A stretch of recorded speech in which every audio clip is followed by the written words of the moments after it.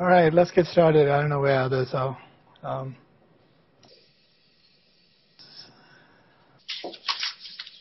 few minutes and see if somebody else shows up. I can watch it. Agenda for today. So we will discuss case study that's due tonight. Uh, discussion was due yesterday or early this morning. Any feedback from the guest lecture? I liked him. Uh, he definitely put in a bigger picture about not just what's the mechanics of a do do A B plus C, but why are we there in the first place? You mean Yeah. you might miss that you know there's a whole underlying component um, that you're looking from here to there, but there might be uh, all this over here that if you're not addressing the whole concept, you might be missing out on a whole bunch.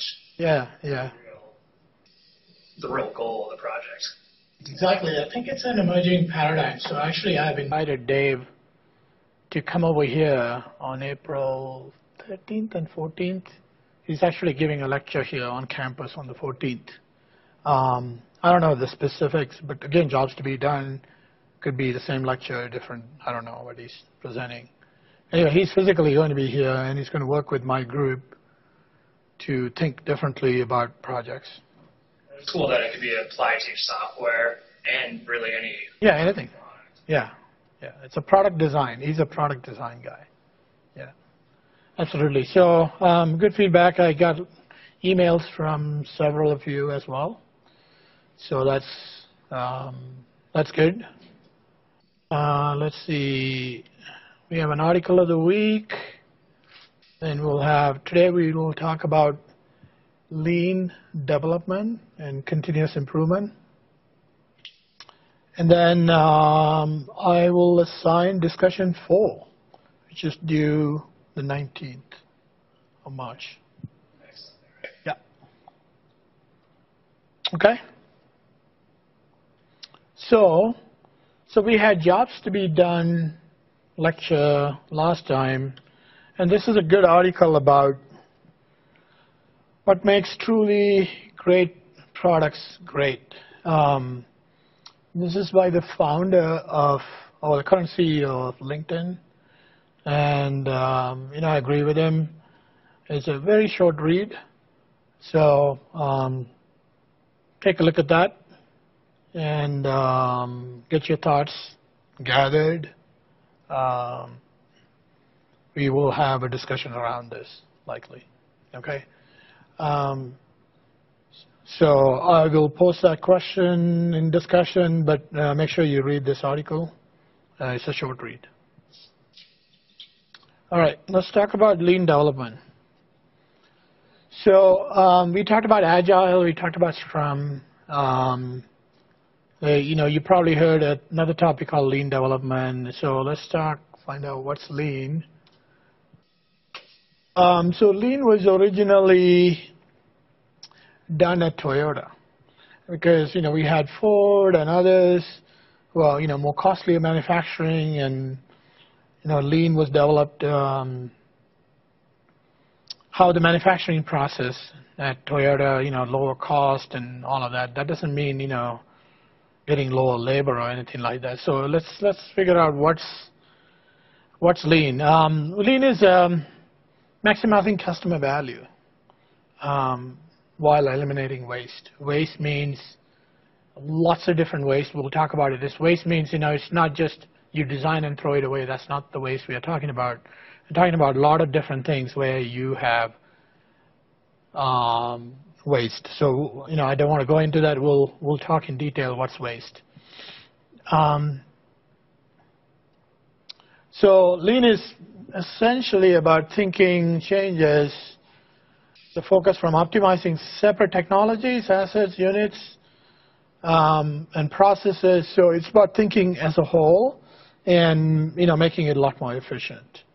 Um, that's what lean is all about. So uh, let's see.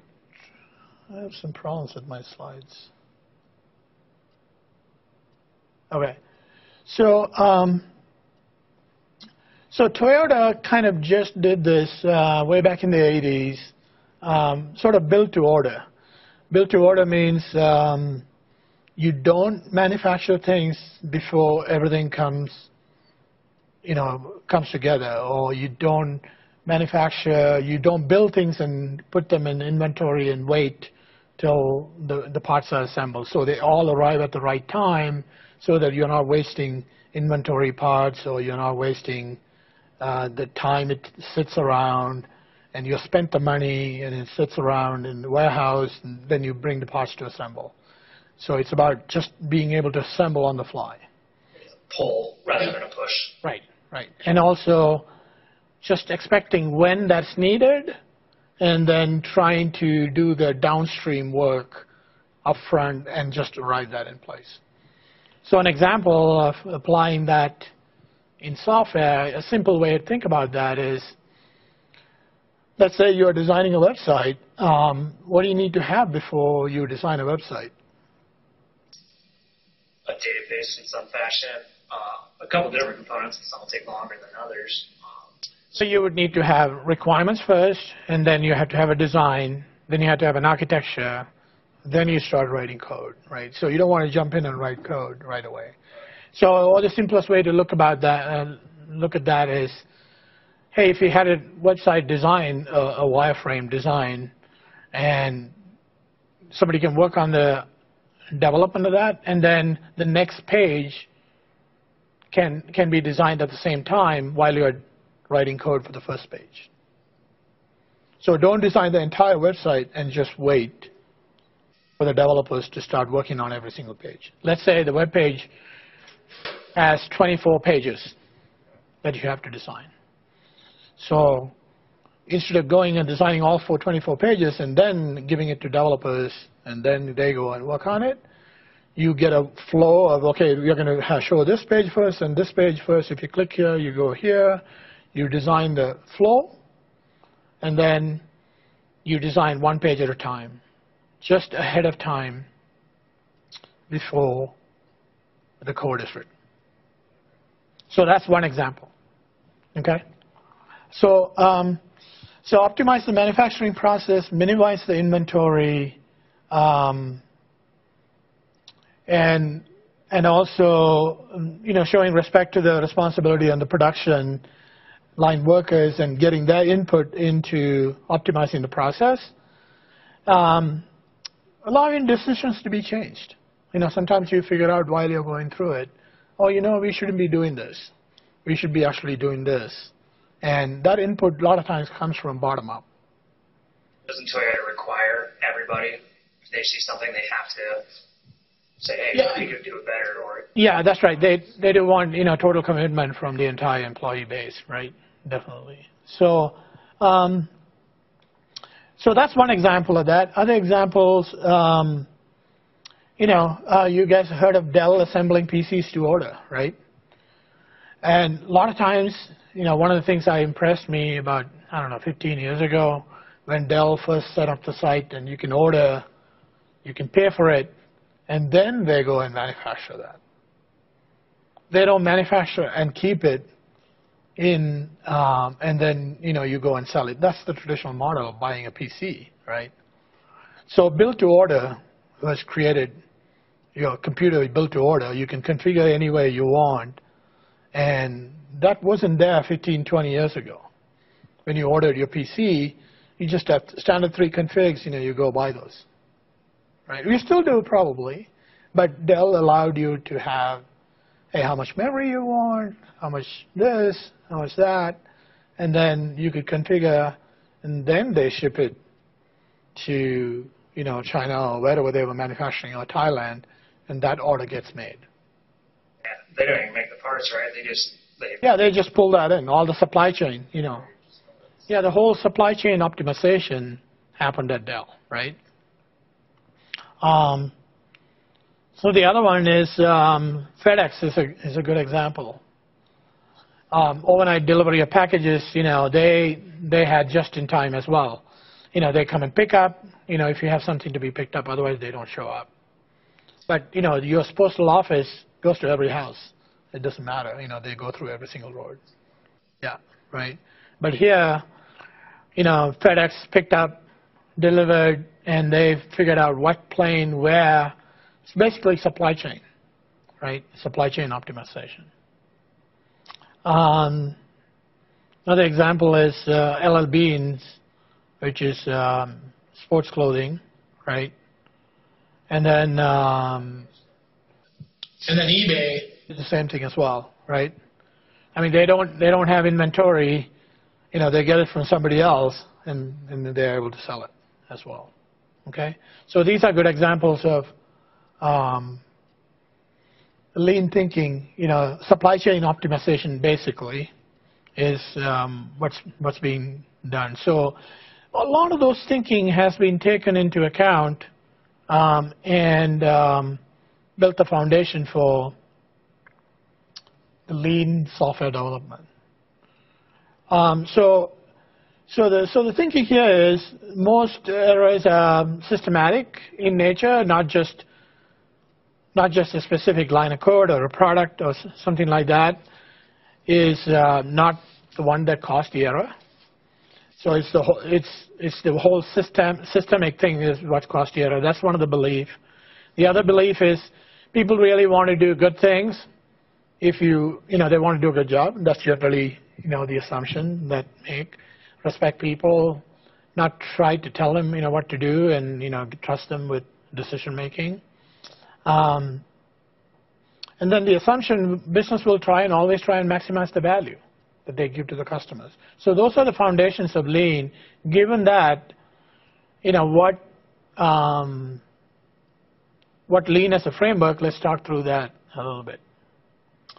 So so companies don't want to label um, anything as lean because there's a bad connotation, right? It says, oh, they're cutting costs, you know, they're cutting people's salaries or the number of hours they're working, all that kind of stuff. That's not yeah, that's yeah. Trim it down. That's not. That's not the thinking. Um, but it's um, you know it's trying to build a framework you know that's around what we call just in time. Okay, so do the things just in time, but that doesn't mean you don't plan or anything like that. You continue to plan, but you don't go and act on it. You don't implement it until you truly need it. Okay, so that's the framework. Um, so just in time is improving um, the ROI by reducing the process inventory and carrying cost. You know, that's the manufacturing side. You know, we just talked about. Say if you needed 10 doughs and you're only going to manufacture 10 cars today, it makes sense to have 10 doughs, not 100 doughs waiting for them. Okay, so just manufacture what you need down the line. And then if there's 10 doughs that needs to be ready for assembly today and that they are ready yesterday in the, um, say, the warehouse. So there's another factory that could be manufacturing that 10 doughs somewhere else, but they need to ship that and have it ready in the assembly factory. Now the other site where they're actually manufacturing the dough, may have to wait for the glasses, the handles from different suppliers.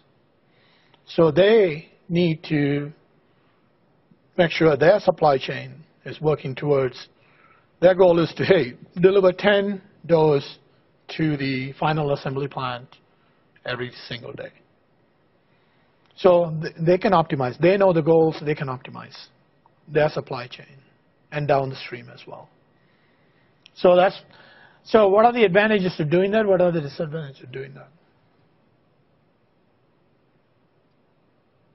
If somebody ever, if there's ever a, a bottleneck somewhere or something happens to, hey, we got behind today, and, and all of a sudden ten doors get delivered, but hey, we're only ready for two of them. You know. Exactly. Yeah, they have to manage the risk. They do have to manage the risk and make sure that they have enough.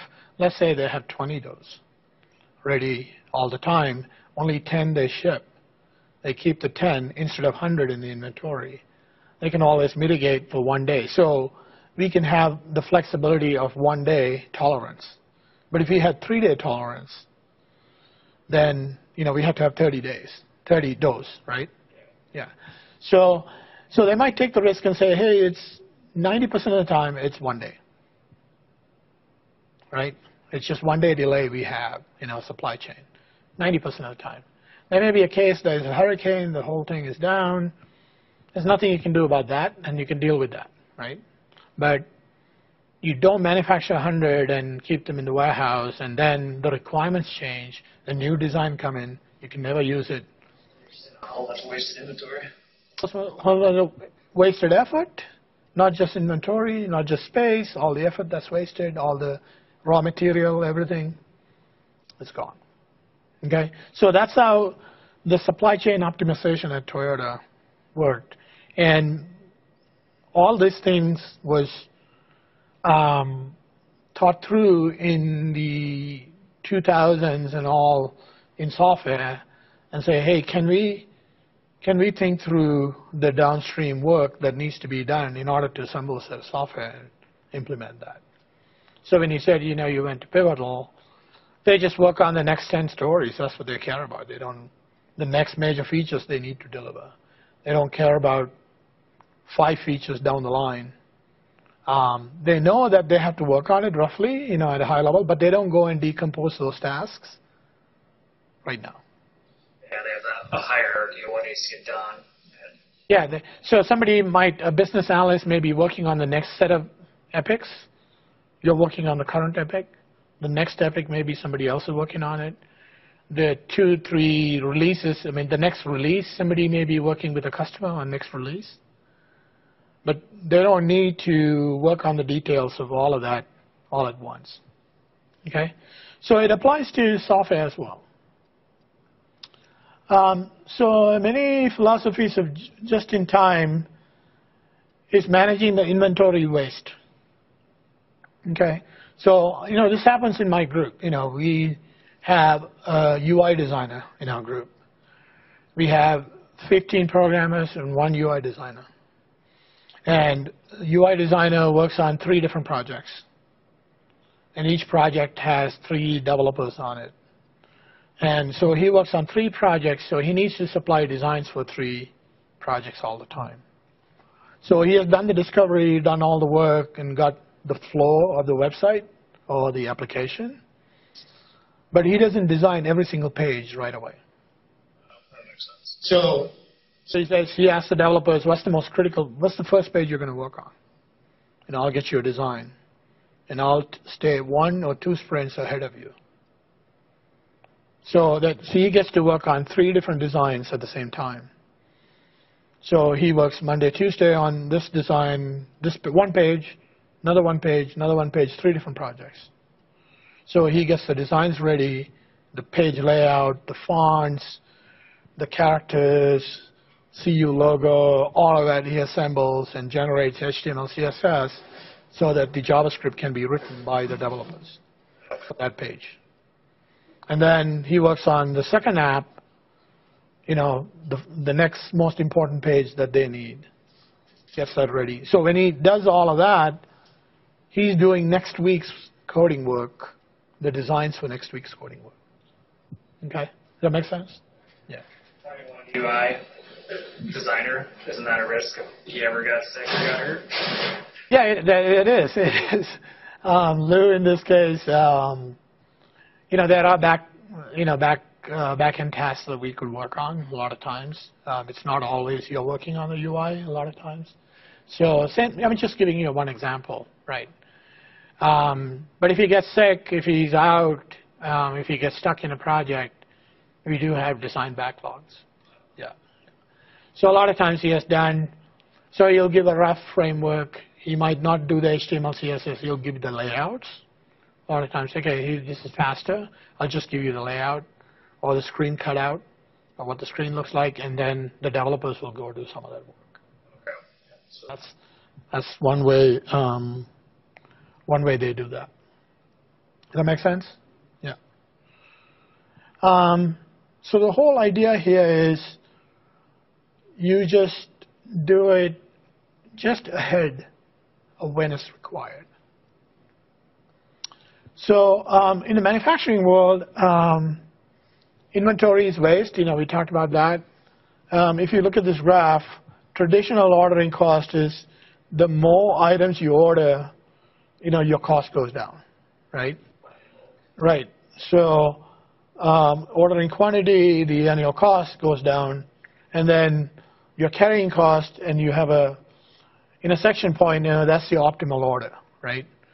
This is your cost to carry, and, and you can project that, and this is supply chain, you can figure that out. But in just in time, you could lower that much, much lower. Right? You just manufacture what's needed, and you just stay two or three steps ahead of what's required. The ordering in bulk, Yep. Mm-hmm. not risking, ever. There's a risk management you do have to do, right? But then once you have established a cadence, then you know what to optimize. Say, for instance, if you think about a car dealer, you know, let's say there are three different manufacturers that he, you know, this person is getting the cars from, and um, and he has to maintain an inventory of 30 cars. He has figured out 10 of each manufacturer, five, three different models, and two of each in each model, and he's got an inventory. Then he knows which cars to sell, which cars to order uh, the next year, the next model, or he's short of inventory. All of that they have to figure out supply chain, right? And then if he sells two cars, then where should he get the next set of cars from? When will he get it? Can he sell ahead of time? Can he get down payment from people without even seeing the car or showing a sample car and you know getting the order? Like for instance, when I ordered my car, you know I wanted back seats, heated back seats, and and they didn't they didn't have that. My kids wanted heated back seats. Only the front seats are heated in the standard car. So you just won't, yeah, you just won't get it.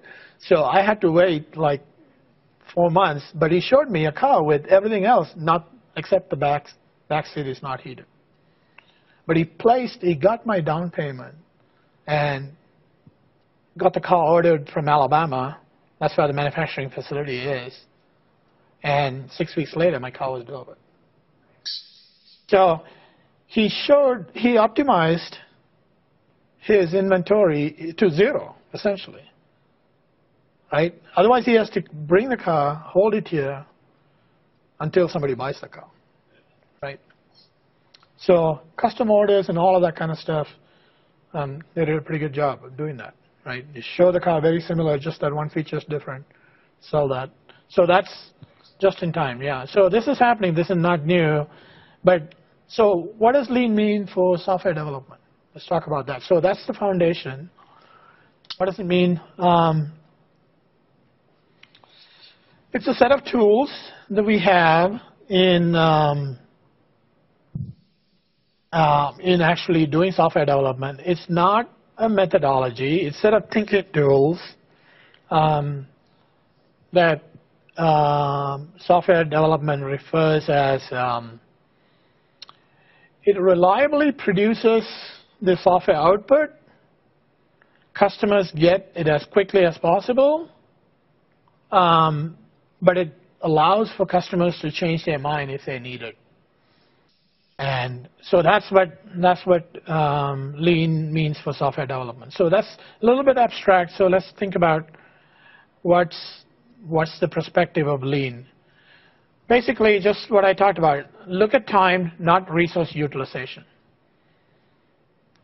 So you're not trying to optimize the resources utilized. You're trying to look ahead. And then so in thinking about the development process as a, as a fast, flexible flow. Okay, we just need to get this done. We know the process. Where can we optimize? Just like I mentioned, you know, UX design, uh, staying a step ahead of actual coding, and then the deployment and the marketing team, you know, just getting ready, getting everybody aligned um, so you as a project manager has a lot to coordinate. That's what it means, right? So you have to understand the different steps where you can optimize. You're not wasting time on the developers. Just basically unblocking the developer. If the developer is blocked, that's actually a waste, right? So, um, so basically, you as a project manager is trying to lower the buffer between um, the different steps, like requirements, UX design, HTML, CSS, JavaScript coding writing, backend writing, database table creation. You know, this may be the steps that you have to do. Can you done, get some of these things done in parallel? Can yeah, and then stay ahead of dependencies um, ahead of time. Okay, does that make sense? Yeah. So you could create a database tables because you know in order to do this story, we have to create a database table. So let the developer independently create the database tables and be ready with that. They might do the back end and be ready with that while the design is happening.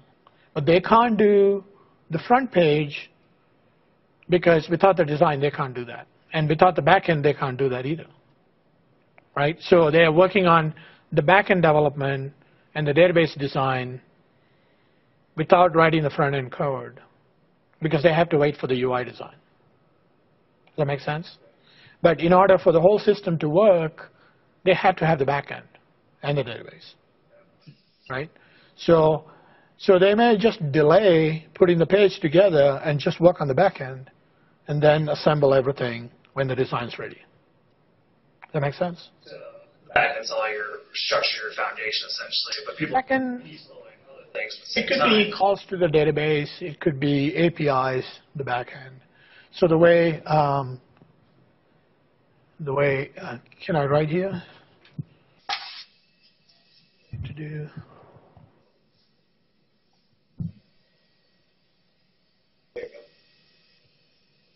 Acton PC? Oh yeah, it's ready. Okay. Third icon. This one? One of those two. Okay. So let's say, let's say this is the database, right? And then um, set of APIs.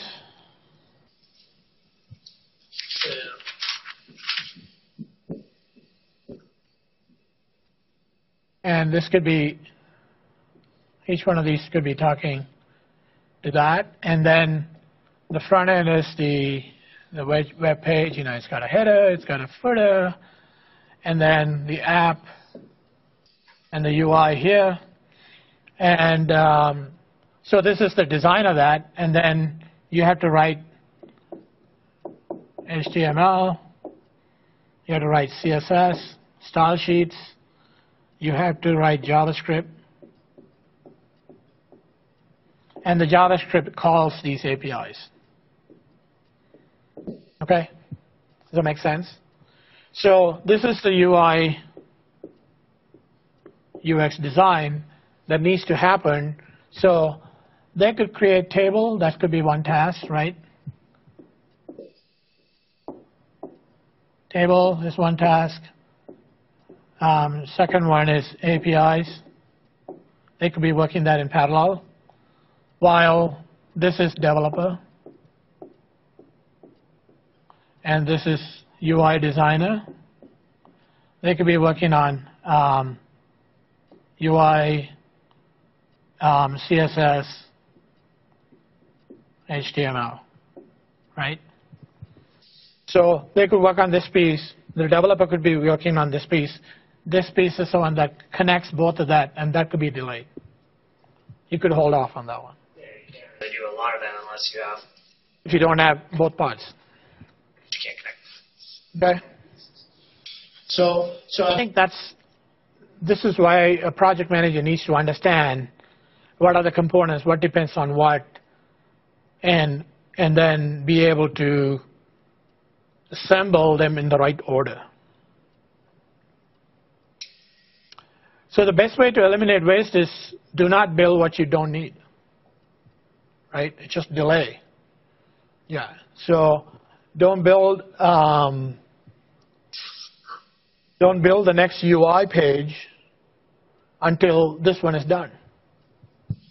Just focus on that and get that done, right?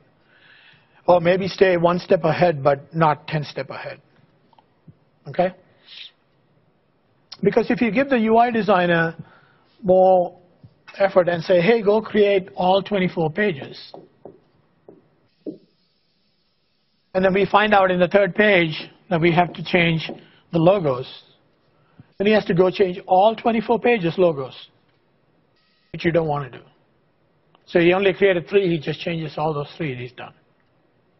Or the fonts are not in compliance with CU guidelines. That's another one. Okay? So that's what we are talking about.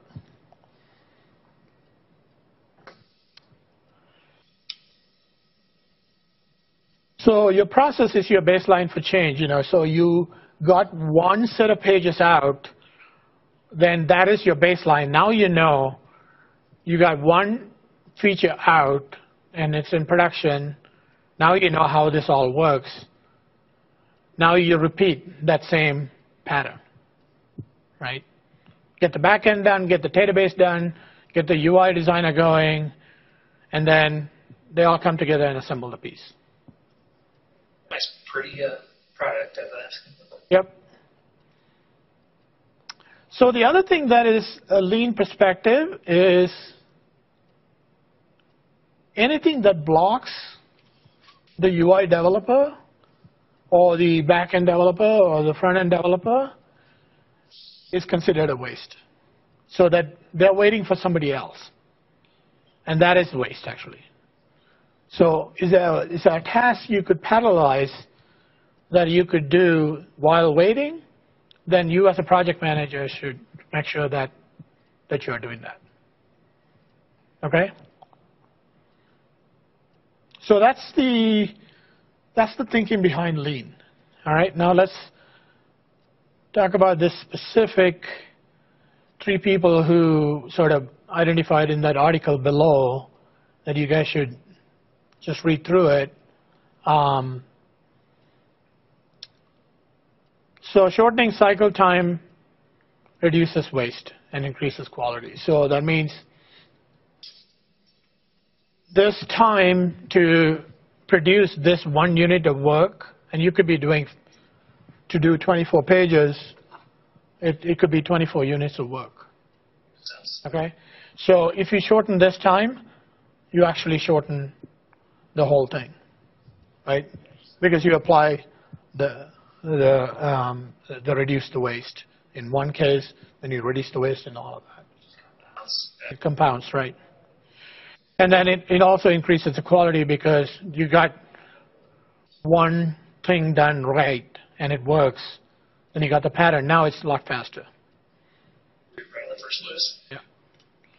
Um, you tend to get waste lower quality. Um, you tend to get waste and lower quality when you increase the time in between. Um, that's that's another principle that you know. It, when you increase the time in between these, say this is process uh, page one, and let's say page two, and if there's time in between this that they're doing other work, you're trying to reduce that between the two. Okay? Um, so, so you as a project manager really need to coordinate, okay, now we are going to go to page two, that the entire team is on page two. That optimizes because your conversation is in the context. You're not working on, nobody's left behind on page one the entire team moves to page two, and the conversation is all about in context. Does that make sense? Yeah, because if, if some people are working on page one and the others are working on page two, there's a lot of miscommunications over there, right? So the developer, a good UI developer, stays a step one step ahead, but not a whole lot beyond that. Okay? They're trying to optimize that too. So you, you will get the information when you get it, and that's what that means, you know, that you're working on the context of the page and not working on something else down the line.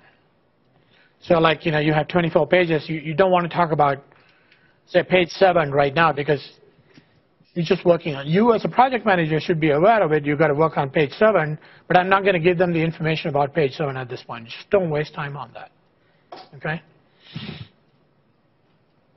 Because you're trying to keep the team in context.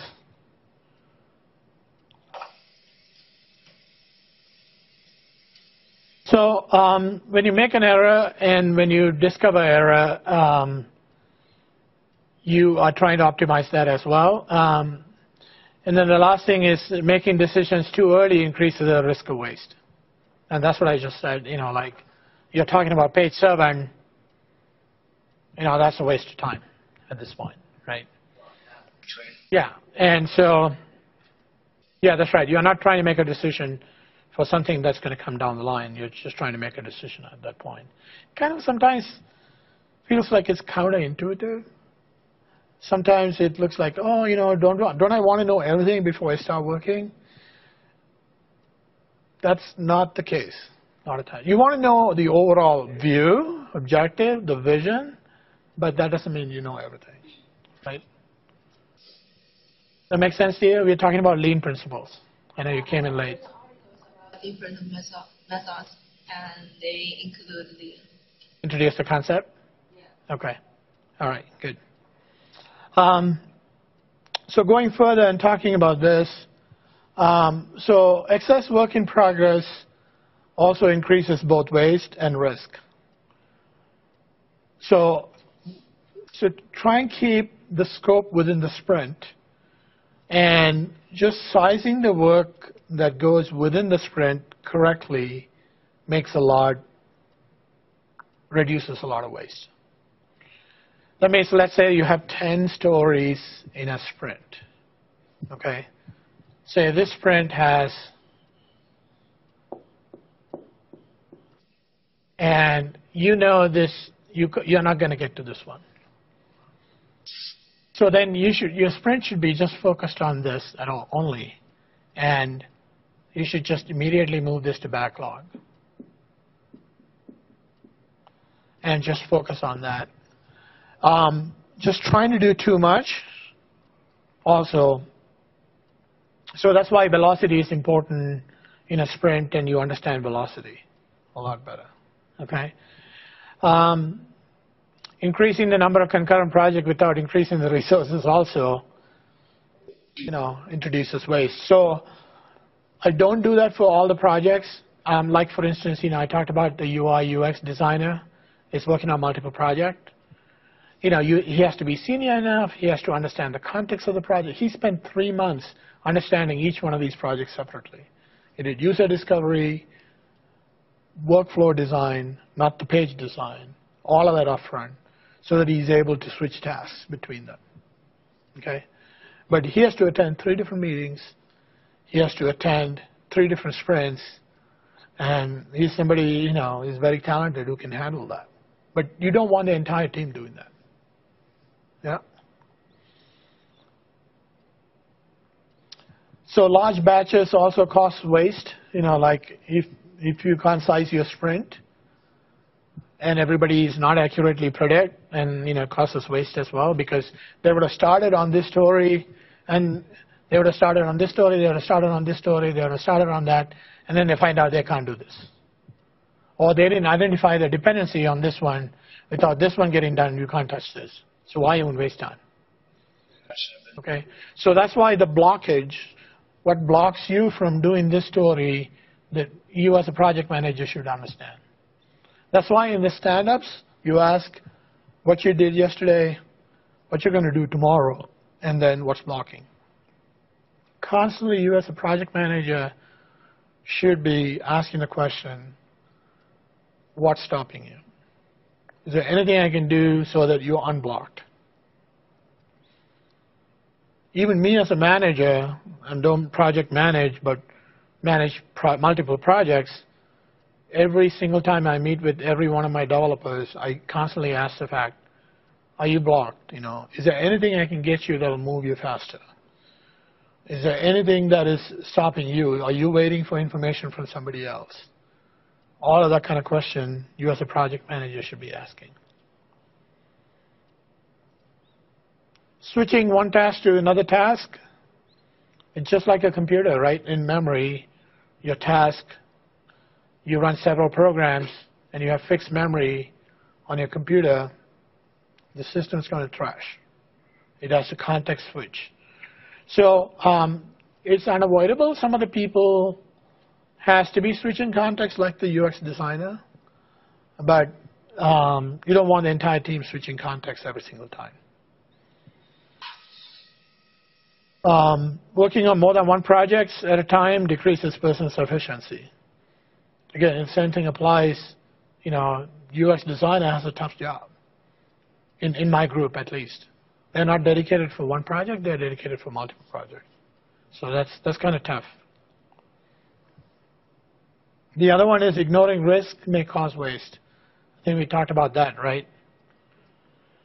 In the supply chain, um, you know, if you, if you know that sometimes you're going to run into inventory not being ready, you know, that could, that's not managing risk.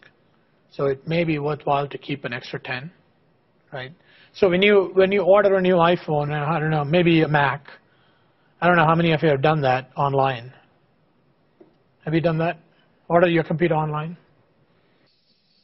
When I ordered my Mac, I mean, several Macs I have, your shipping label gets created right away. And it's shipping from, I don't know if it is Chengdu, China, or I don't know exact location in China. The shipping of FedEx item is from China all the way. The order comes from China, it goes to, flies to Alaska, and then it flies to Kentucky, then it gets delivered to your home. So the order that you placed on Apple website gets shipped out directly to the factory. And then two days later, it tells the FedEx operator, don't pick up today. Two days you pick it up. So everything is just optimized. You know, it'll be ready. The config, the special config you wanted with 32 gig of memory, not the standard 8 gig of memory, and um, the 5K display that you wanted, and, and the disk that you wanted. All of that is a config to order, and it all gets assembled, and the FedEx is notified to pick up in 48 hours. That it'll be all ready for them to pick up 48 hours. It's not today, but the shipping label is created. So FedEx itself thinks about how many space they need to have on the plane that flies from Chengdu to Alaska, and then the next plane that carries from Alaska to Kentucky, where the where the main warehouse is, and from Kentucky, it's a local distribution to say Colorado and to Tennessee. So they, they want to have that shipping label created 48 hours ahead. Why? Because they can optimize their flights. They can use every single space that they have on the plane. Okay? So, so FedEx even incentivizes Apple and says, if you created your shipping label 48 hours ahead, then we can give you a discount. Because we know that we can predict our demand. Does that make sense? So that's the way, you know, software develop project manager. This is a very important thing for a project manager to, to optimize um,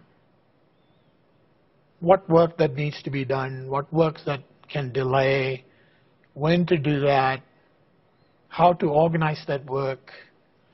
Um, but don't be rigid about, oh, you know, don't think 10 step ahead.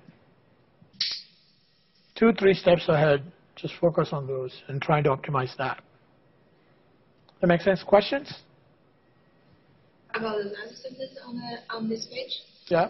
delivering value quickly increases ROI.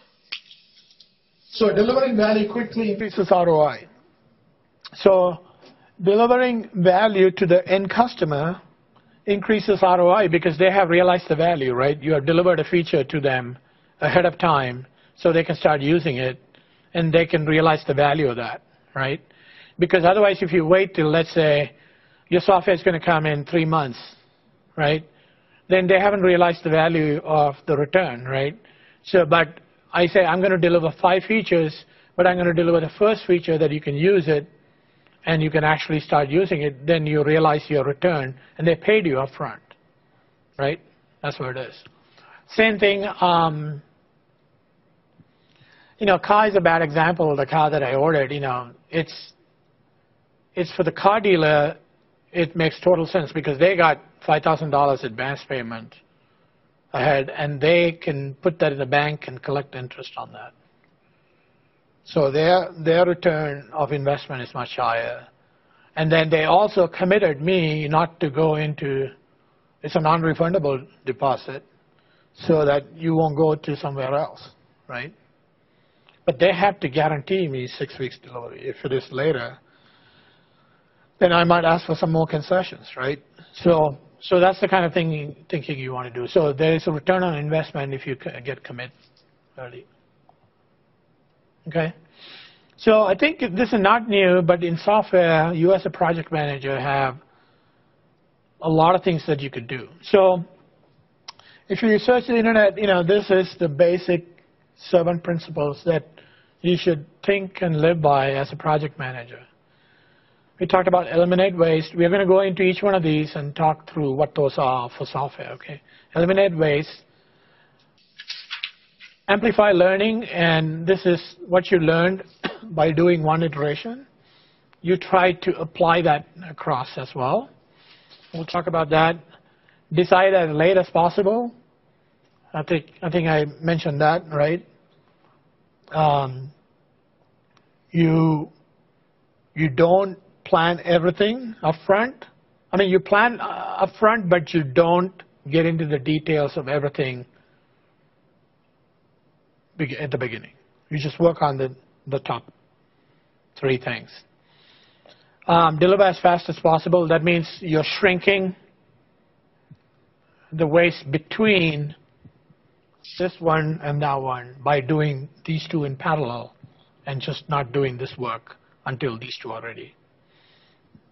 So if you, if you drew a dependency, curve, dependency graph, it'll look like this. Um, say, say this one needs to be ready and that one needs to be ready before you could assemble the page, this page. Right. There's a dependency here, there's a dependency here. So you could work that in parallel, you could work this in parallel, but you can't touch this one until either one of those are done, or both of those are done. So you're, you're saying don't decide on page seven, only do one or two pages in advance. That gets the pattern going, yeah. So when I did our construction project, we had a set of fire doors that had to um, be engineered and designed. It, it took eight weeks for those to be designed. Right. So at some point, we knew they had to be installed by this date, so it's like, hey, we need to give them their their rough outs and stuff like that at least eight weeks before that. So weird engineering projects, I don't know how it relates to software, but if you knew something that was down the road that had a critical function and you knew it was going to take a while, um, you would know, hey, I need to start Get that that, week scheduled up front. before Yep. um, to be able to get it done by week nine or something along those lines. Or, or you have to do an inspection before you can do, say the electrical inspection needs to be done before you can do the drywall or something, right? So you have to schedule, but the electrical inspector won't show up just because you told him yesterday, right? So you got to schedule that like three weeks in advance so that that guy shows up on that day. So you can start to work on it, but the electrical inspector needs to be scheduled like three weeks in advance so that he shows up on that day. On that day, you haven't done your drywall, but you have done your electrical work. That makes sense? Yeah. Similar. So, so deliver as fast as possible. That means deliver the value to the customer as fast as possible. The fifth one is empower the team. Let the team come up with best ways to do it because they know what the mechanics of that, right? They would know the dependency. You as a project manager may not know it all, but don't be like a know-it-all person. Just ask them, hey, in order for you to deliver, who do you depend on? What do you need to have? Do you have everything you need? And if you're blocked, you need to let me know. So those are the kind of things you want to talk with your developers.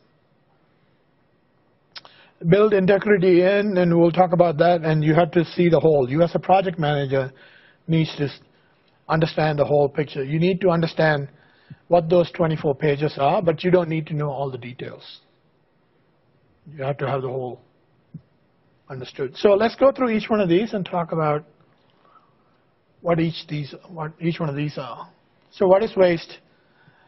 Anything that does not create value from client's point of, view, if you can't link the work that you're doing to the value that's created from client's point of view, that should be considered a waste. And or the work that you are doing does not improve the quality of the code, I should be considered waste. Or it does not reduce the time and the effort needed to take to produce the code. So you can you can say the quality, right? The time, and then value to customers. So that's features, right? Essentially. So features, quality, time, and that's what you're trying to optimize, right? Those are the thing, three things you're trying to optimize. Some of the steps may not may be extra steps. You should try and eliminate those steps. You know, say, hey, I have to get approval from this person, or the designer should look at this before. Let's say, let's say you um, do a design and you check with customers, and then you give it to developers, and the developer says, you know what, this, this cannot be implemented, this is going to take too long. What process change you need to make?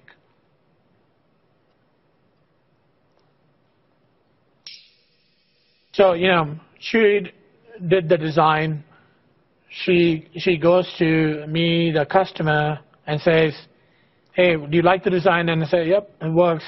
Then she goes to the developer, Coulter, and Coulter says, you know what, that's going to take a lot of time to design and a lot, lot of time to implement. And so you now have a situation, what would you do as a project manager? I'd probably get the client and the designer in on the same meeting, like, hey, what's realistic? Yeah, absolutely, and we'll we'll do that. We'll do that. But now you have to think ahead. Next time around, do I need to make a process change here? Yeah, I'd say so. What, what would that be? I would almost have the person doing the designing talk to the client. The next, the the next page design, I would get both the. I mean, if she does a design, she says, "Hey, check with Coulter before we show it to customer that this can be implemented." Absolutely. Not go into all the details of actually implementing it, but just check with them. Hey, can this be done? Can we put this dialog box in here? Can we put the search box in here? Would you be able to implement this? Would it take a lot of time to implement? How much effort it is? But don't implement it, but at least check with them.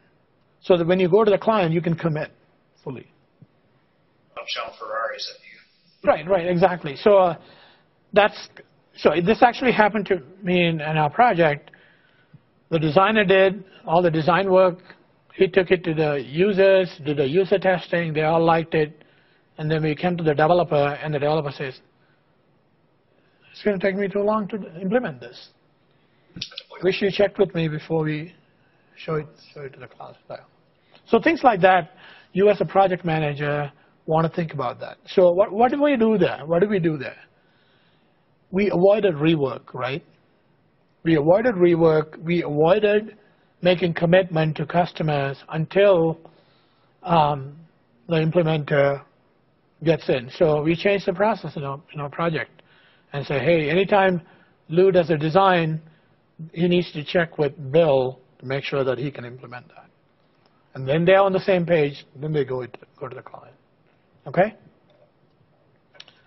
Um, so what is waste in software development? Let's think about that. So let me ask the question. What is waste in software development? General, it's anything that's not creating value. Yep. Okay. You waste a lot of time on coding, but the final result is not very, um, not very, not improved remarkably. Mm, okay. So, so what you started with is what you ended not ended up with when you delivered, right? So it took a lot of time to figure exactly the right design, right? Yeah. That's So one. Yep. To, to avoid to avoid that, should we um, design carefully before we start coding? Right. Right, right, right. So here's a couple of things to think about. Um, partially done work, and that's what we talked about before, that you got started on this seven tasks in Sprint, and you touched on each one of these, and you decided you just can't deliver the last one, and you wasted time, right? So partially done work is one. Extra features, oh, you know what, sometimes you will get from developers, hey, you know, actually I can throw in a, a search bar in here.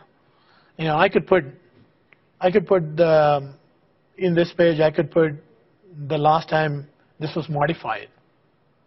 I could put that cool feature in there. Do you want me to put that in there? Really? Is it adding any value to customers? Extra features, those kind of things you should try and avoid. Just focus, right? That's a focus question, right? Extra processes. Extra processes, oh, we have to get approval from our boss and things like that. Maybe, maybe it's not. Maybe in your environment, you know, that you are given the authority to go do that. You may not be. So you find the it's easier to ask forgiveness than to ask permission in certain cases if you know your boundaries? Yeah, you have to manage. I'll give you one example. Okay. Um, so everything we do, any websites we design at OIT, it needs to have accessibility. That means, you know, if somebody is disabled, they should be able to access that page. Say somebody don't have a good eyesight, they should be able to have a screen reader read that for them. And that's a requirement, that's a law. Every website, Every website we do. Yes. And see, you might get sued by ACLU or somebody like that if they didn't have that. So we have a group that's job is to check for accessibility, just to make sure that that this page or this app that we design will work with the screen reader. You know what a screen reader is? A screen reader is that can look at this page and actually read it to you instead of somebody who has a visual impairment. They can just listen to the page and it will describe the page. You have it on your iPhone as well. So anyway, um, or if you have a building, you have to have a ramp. Yeah, otherwise you just won't be able to get the building done, right? So that's a good example. So those kind of work, um, you have to know that up front, and you can you can say, hey, you know, after we are done, we are going to come and talk to you, the accessibility to make sure. And that's what the typical process is. And we'll get the product done and we'll go to accessibility. I changed that process and said, hey, let's get accessibility involved up front, looking at our design. You know, then they can say, hey, avoid having scrolling windows or things like that. They say, hey, don't have a lot of big scroll bar because, you know, that'll be a lot of information. Or the most important information, put that at the top. Then the screen reader would just read that and they can move on. Otherwise, they have to wait for the entire page to show up. And then the most important thing that changed in the page is in the last line. They have to listen through the whole thing So you normally have log in, log out. at the. Very top. At the very top. So those kind of things. So some patterns you understand, and then you apply those patterns, and you avoid the extra process. So when you go to accessibility, you understand their hot buttons, their design patterns. You have addressed most of them. in, as part of your design, as part of your implementation. So when you go to accessibility in the final review for approval of your product to be released, there's only minor changes you have to make. Does that make sense? Yeah, so understanding that, and the same thing, you know, like, so this is sometimes comes through experience, and sometimes, yeah, you know, it's just like knowing that you have to have city approval, get a permit to do a basement remodel. You, as an experienced general contractor, should know that, and you know what not to do so that you can get that approval, right? things up to code and all that kind of stuff. Okay? So accessibility is one of the things in software development. It is a law in the United States. I don't know about the other countries. Um, that anything you design needs to be accessible for somebody who is uh, visually impaired or anything like that. Okay? So those are extra processes that you have to do, but you want to try and minimize or avoid those by building that into your, your work. So what's waste in um, software development? Let's talk about that. Let's refresh what we talked about. We talked about task switching. That's a waste, right? What else is a waste? So how do you how do you get task switching? How does it how does it happen? So if you had if you're on two or three different projects, That's right two or three different projects that that require many interruptions. You have to context switch, right? That is waste. What else is a waste? people will need some time to get used to their new position, new job, new work, new job. Say that again. So people um, need some time to um, know to get themselves familiar with their new jobs. Okay, so people need to learn what the job is and get adapted to the understanding, yes. I wouldn't call that a waste. It's sort of a necessary. They have to understand that, right, in order to do that, right? So you have to build that into your planning. So let's say we have a new project, we have a new employee coming in, right?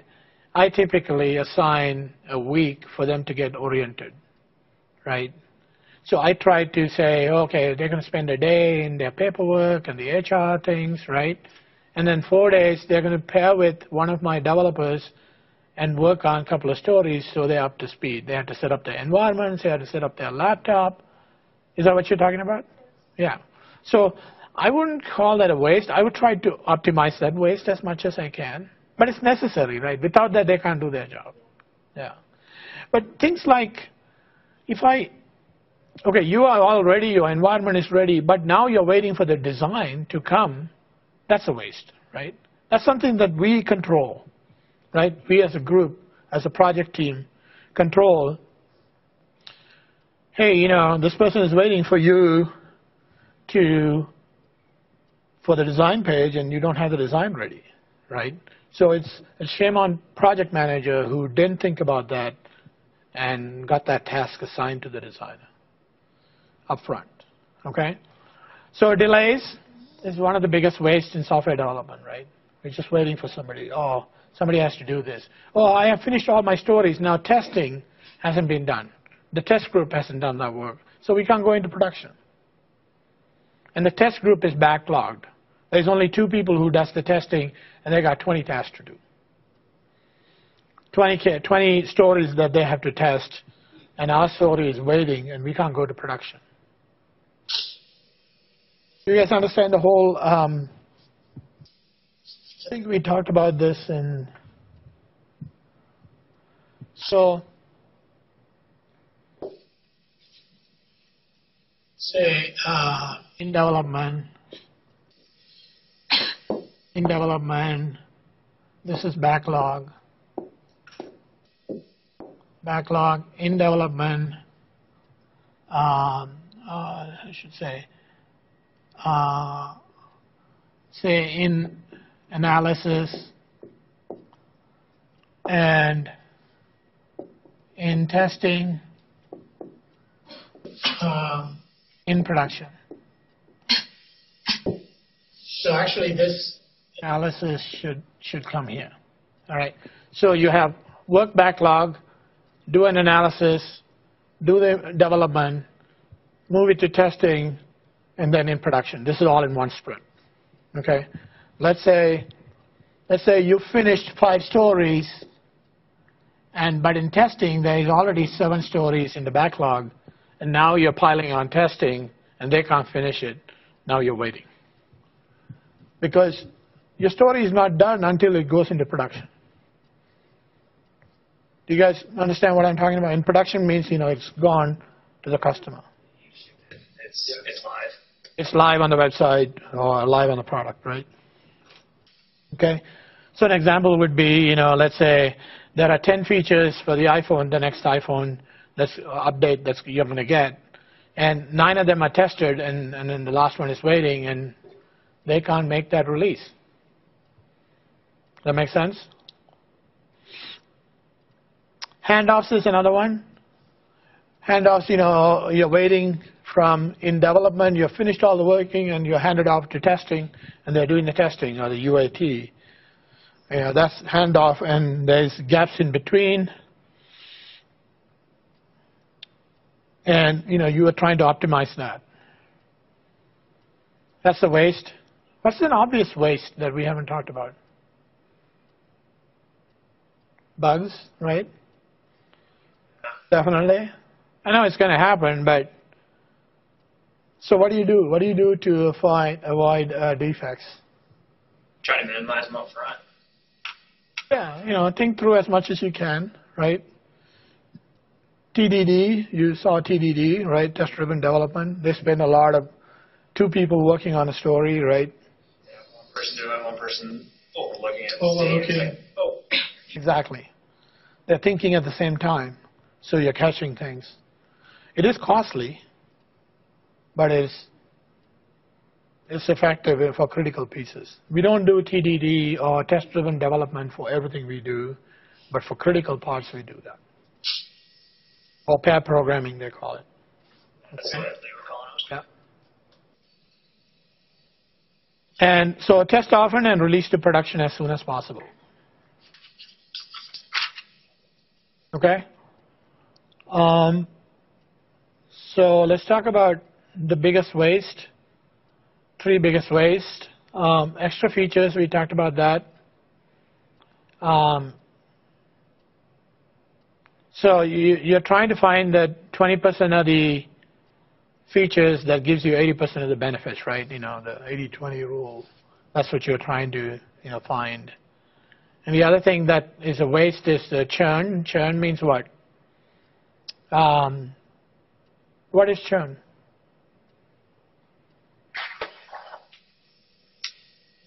I know for ourselves, churn was we got a new customer, they didn't like us, and uh, Different requirements, right?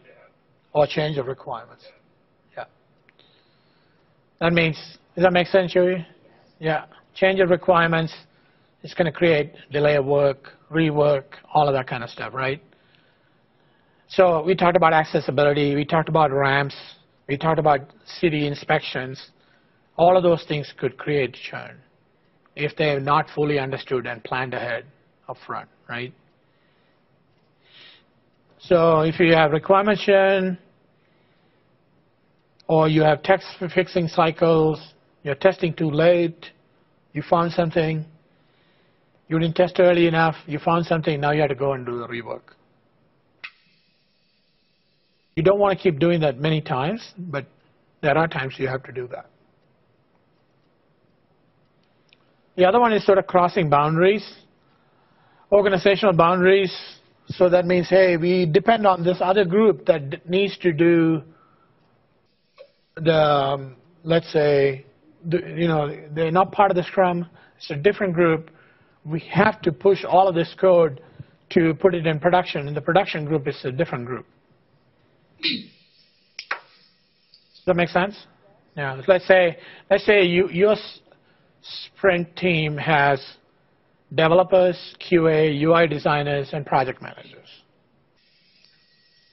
But you don't have DevOps DevOps are the people who puts things into production. You don't have that in your team. Now you, you know, you've done all your work. You are ready to put that in production. You have done the testing. Now you have to cross the organization and give it to a different organization that does put things into production. You're likely going to have a waste of time. So how would you how would you address each one of these? So how do you address extra features? How would you eliminate extra features? Hopefully, every client on hand as much as possible to figure out what your 20 Highest priority. Highest priority item, right? And the highest priority is designed, is defined by the customer value. Hopefully, you can just differentiate between a need and a wish. Yes, absolutely, that's for sure. Yes. And then oh, you have 10 items you can work on. The way you would decide is what's the most important thing? What, what's not important thing for the customer, but what's the biggest value we can bring to the customer? What's the biggest value that we can bring to the customer? And the customer may not know that some all the time. But you as a team decide, okay, this is the biggest value we can bring to the customer. And try and be honest about that, right? And then churn, we talked about that, you know, that is being planning, you know, knowing things up front, what needs to be done, and delaying requirements till the end, you know, you can reduce churn. And then organizational boundary crossing, right? You know, we talked about, hey, we got to tell the city for the electrician, um, the inspector, to be here, right? Because it's crossing boundaries. He's gonna he's gonna come in only on the 17th. So you guys better be ready, and when the inspector comes in on the 17th, that you're done with your electrical work. Okay? Any questions on the waste? Is it possible to avoid all of this? I think it's too hard. A lot of times, is it possible to avoid all of this? Uh, is the question. Um, over time, yes. Over time. Over time. Over time means not over time, over time, over time, but this is over multiple iterations, multiple sprints, you get the hang of doing things and putting things in production. That's what I meant by that. So you do two sprints, three sprints, you're better, you're constantly improving. So over multiple sprints, you're going to get a lot better. Okay? Um, yeah, you know, you- you're going to have some work, rework in the first sprint. You know, you figured this dependency. You change the process, right? You change the process for accessibility, right? And so once you got several features, page one, page two, out into production, you figured out where your biggest, biggest wastes are. So when do you discuss all of this? In your agile workflow, Wouldn't that be in your retro? in your retro. So this is what you should be discussing. What worked? What didn't work? What can we do to fix?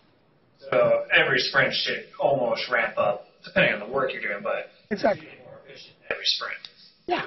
Yeah. Pick the topmost thing that you can fix to reduce waste or more lean about it and just only do that better. Let's say you figured out in the first sprint, hey, you know, we didn't think about accessibility. Let's have the accessibility team come and present to us. Take two hours, have the accessibility team come and present to us what's the best practices. What do we need to do? What should we, we as a team be aware to avoid this pitfall we had? If you did that in your next sprint and the other sprint after that, you're going to be more conscious and you won't have that five hours you wasted on accessibility. Okay? And then you, through experience too, you know, over, s- over time, you know, I mean, when I came in to OIT, I didn't know much about all the requirements for the university, right? But when I got through a couple of projects, I understand now where my bottlenecks are, which one's going to take more time, so I plan ahead, right? So I didn't know that I have to go through a review or change a change board. There's a board that looks at all the changes and approves changes. I have to go through them in order to put something in production. So when I did the first project, okay, we are done, you know, we tested everything, it works fine, let's put it in production. They said, oh, no, no, no. You got to go tell the change board that you're making this change. And they have to tell the customers, and they have to get the customers ready and train all of that, and that's going to take two weeks to do it. Okay? Or I could say, hey, I need more and uh, three developers for this new project. And they said, oh, it's going to take us three months to hire these people. So, you know, I, I had to figure out, you know, how do we get that work done? So one of the creative ways I did that was, you know, let's hire some contractors, and if they are good, you know, they can apply for the job, and we can hire them full time. That's one way you can get going. Okay? So you have to think about eliminating waste uh, upfront. So I'm going to go through the, so, so we did all of this. We talked through all of that waiting, delays, handoffs, defects. We talked about the three biggest waste, extra features, churn, and we also talked about crossing boundaries or dependencies outside, right? We're going to talk about amplify learning. So let's take a quick break, 10 minute break, 7.30, be back here. We talked about this. So second learning in the seven things in lean is amplify learning. So what does it mean? Do the work, discuss what went wrong, fix the process, do more work. Sort of a cycle, right? So this is um, learning from the past, keep from making the same mistakes again. That's what we just talked about before the break, right? Retros. In retros, you figure out what went wrong in the last one. We're not going to do this again. This is how we're going to fix it somebody actually owns it gets that fixed, you as a team, you know, don't do that same mistake. Oh, I wouldn't call it a mistake. You know, you make an improvement to the process, and oh, sometimes you know, you know, hey, you know, this time we have to talk to the DevOps. Let's get the DevOps guys involved so we can cut short the time to go into production. Let's get accessibility involved so that we don't need to cross that boundary. We are ready when we go live. We have done the accessibility work. Okay? So a good project manager just looks for this. When you do amplify learning, you are shortening what? The time because the delays you are eliminating, right? You're eliminating.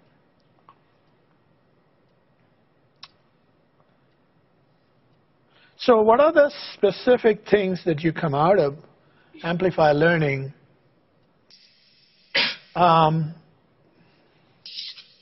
so sometimes you don't know, you know, how to do certain things, and you know that's why you create sort of rapid experiments, or what do you call sometimes spikes, spikes. So you quickly do something, you figure that out, then you have a better estimate instead of you bring that story in-house that you don't fully understand, then you're churning, trying to figure this out. Send off one person and say, here, go figure this out. Break the story, understand this, tell us exactly what steps needs to be done, and create stories and get that done. Okay, so I'll give you one example. In my group, you know, we have Salesforce development as well, and Salesforce is, has an equivalent to JavaScript in the application called Light, uh, Lightning. And they found some bugs in it, so they're going to lock that down. So they're going to make some changes. Entire Salesforce, all customers are going to get this change in June. So now we have to figure out, we have to adopt all our programs that we wrote to that new model. Okay, so we don't know, it's brand new, that just came out. Salesforce just announced, you know, all our customers in June are going to be converted to this Locker Service. So we got to go figure out what's this new Locker Service that we have to do. Which one of our products are going to be affected? And when that's turned on, all our stuff is going to break, or the stuff that depends on it is going to break. Did you get access to that stuff before June? Oh yeah, yeah. I mean, like, so I don't know how much you guys know about Salesforce. Salesforce control the entire environment. You know, they have deployment, everything. There, there's their platform as a service. That so you don't get to create your own website. You don't get to host it. You just run it on Salesforce. So if they change something, it affects all their customers. Okay, so you just got to make sure that. So they announce in three months we're going to roll this out. So if you have Lightning components, you need to make sure that all your Lightning components are locker compliant. That means they're locked down for against this security flaw. Okay. So now you have to make those changes for already things you are deployed. You don't know, it's an unknown, right? It's a brand new thing that they introduced, so we got to make sure that everything. So I sent off one person and said, hey, you go figure this out, convert all of this, and learn from it. We don't know how long it's going to take, maybe two weeks, maybe four weeks, but take whatever is needed, just figure this out, but don't interrupt this one, this workflow. So he figured it out, and he did some of the implementation that works. Now he takes that learning and brings to the team, and then you know go do that, right? So that's the create a hypothesis. Hey, if you did this, this will work, and try that out, and then implement the best outcome. Okay, that's an example. Standards. What about standards? Talked about accessibility, right? Now there's a 508 standard that's created by U.S. Um, Bureau of Standards that says, you know, your web page needs to be able to be read by these screen readers. That means, yeah, go ahead. Uh, try to hold yourself to the strictest standards just so you encompass everything, or just hone in first and kind of a ballpark? Yeah, there are two components to standard. One is you have to meet the standard, right? The other one is standards that are best practice. If you did this, you know, it'll automatically meet, right? So I think I tend to do the latter. You know, what's the best practice to implement accessibility and do that, and then through proxy, we will comply with the standard. But not try and read try and read the standard and try and implement every single thing over there. What's the best practice to implement a website that is allowed by screen readers?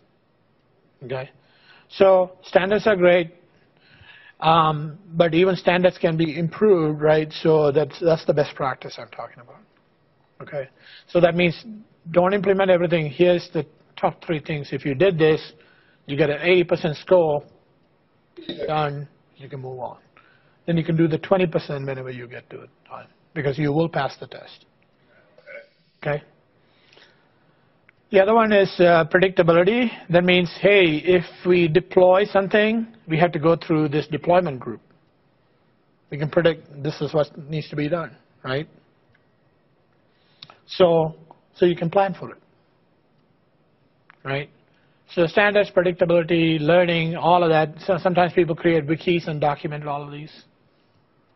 Sometimes they put it in the code and say, hey, if you did these things, it'll be fine. So can you think of anything about anything else about amplify learning? You know, how do you amplify learning? What else? What else you could do? Definitely every sprint do a retro and try and improve things, right? And then create, hey, if we do a project, we do these things for sure. Accessibility, we need to um, have websites this way, we need to have logos this way. So everybody knows in order to get a product out, we have to do these things. There's, there's no other way. That makes sense, Joey? Yeah. All right. So that's the second one, amplify learning. First one is eliminating waste, amplify learning. Third one is delay commitment. That's, that sounds like counterintuitive. It's like, why would you want to delay? Don't you want to commit right away? A lot of things can change between your end and the client's end. Yeah. So it's like, you know, I give you an assignment. Do you want to wait till the last moment and submit it, or you want to submit it first? That's a different philosophy. I don't know. I tend to do is I tend to do all the work necessary, get that ready, but I wouldn't submit right away. I would still submit at the last moment, but I'm ready, right? There may be some new information that might come through, right? Maybe I give a hint, or maybe, oh, you know, I wasted all this time figuring this out, right? Or, um, or there might be some changes, or maybe the deadline is extended, or things like that. Like, or you might talk to somebody and you learn something, you want to incorporate that, right? So, but so plan, but don't do the full commit until the last moment. Make a committed decision. Major benefit is maximizes the cost of change, right? And change cannot be incurred until development is underway, right? So you have to make the development and then. So commitments, if you look at that, um, you want to you want to try and delay the decisions. Um, you plan, but don't put that in production yet. And also try and make decisions that are reversible if at all possible, right? Hey, we don't need to, we implement this, okay, that's the decision we made, but can we pull that back, take that out?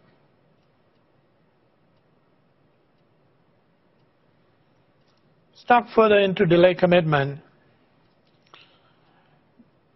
Yeah, this doesn't mean that you do not plan. Okay, you do plan, right? So don't make a, don't misinterpret this. You do plan, like I said, and planning is not a commitment. Commitment is delivery and actually implementation, right? You plan for something. So a lot of times, you know, if I have an assignment, I tend to do that assignment as soon as possible in the context of what I what was given. But I don't submit. So I'll give you one example at work. So I have to write annual performance review for all my employees. There are 15 of them. And it's due on 31st of March every year. I can just wait till 30th of March and try and do all 15. I'll be, you know, I'll be just overwhelmed, right? So what would I do?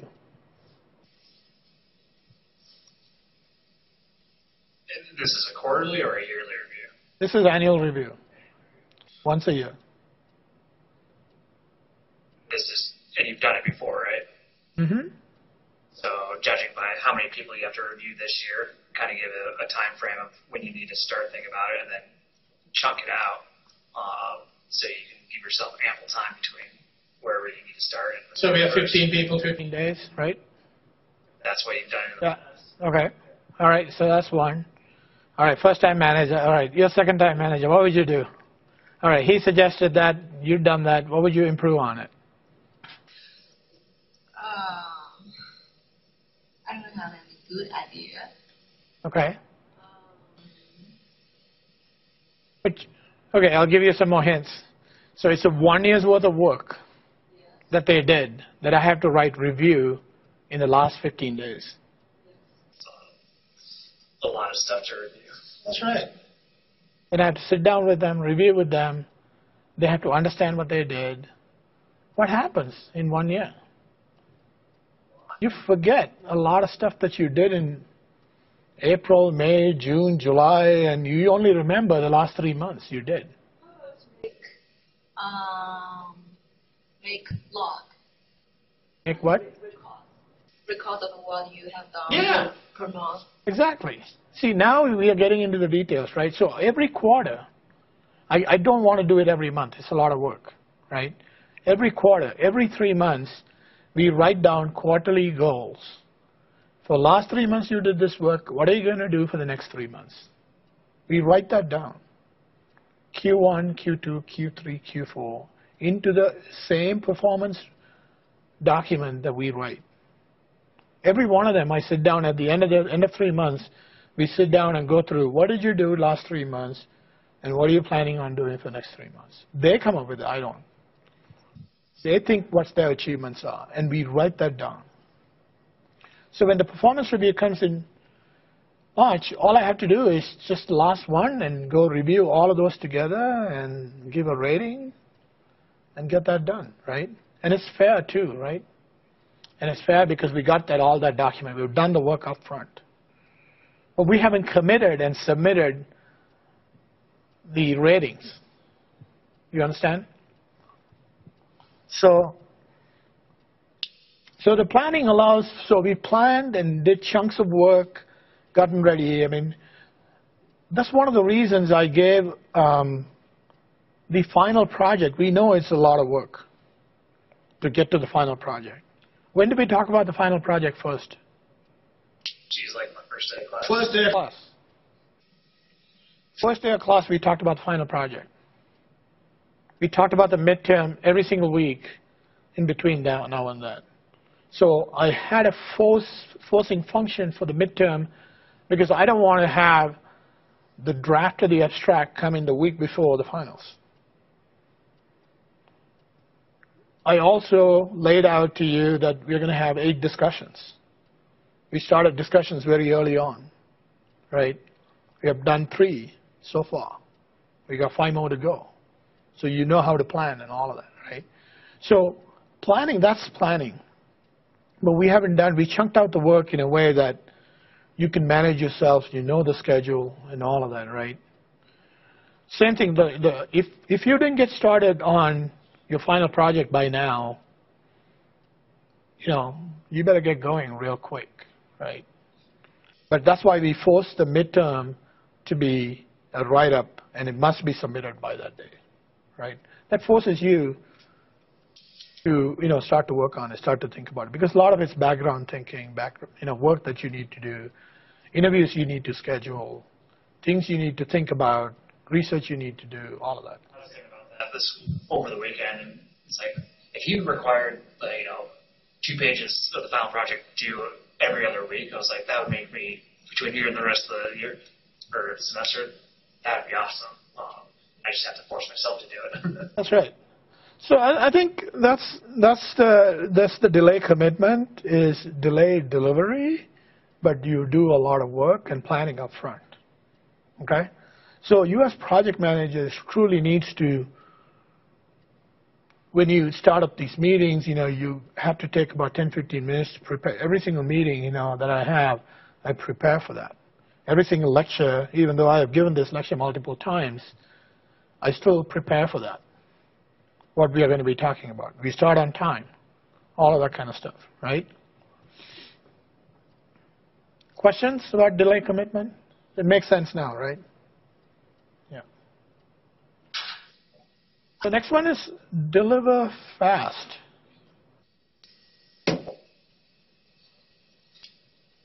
Why?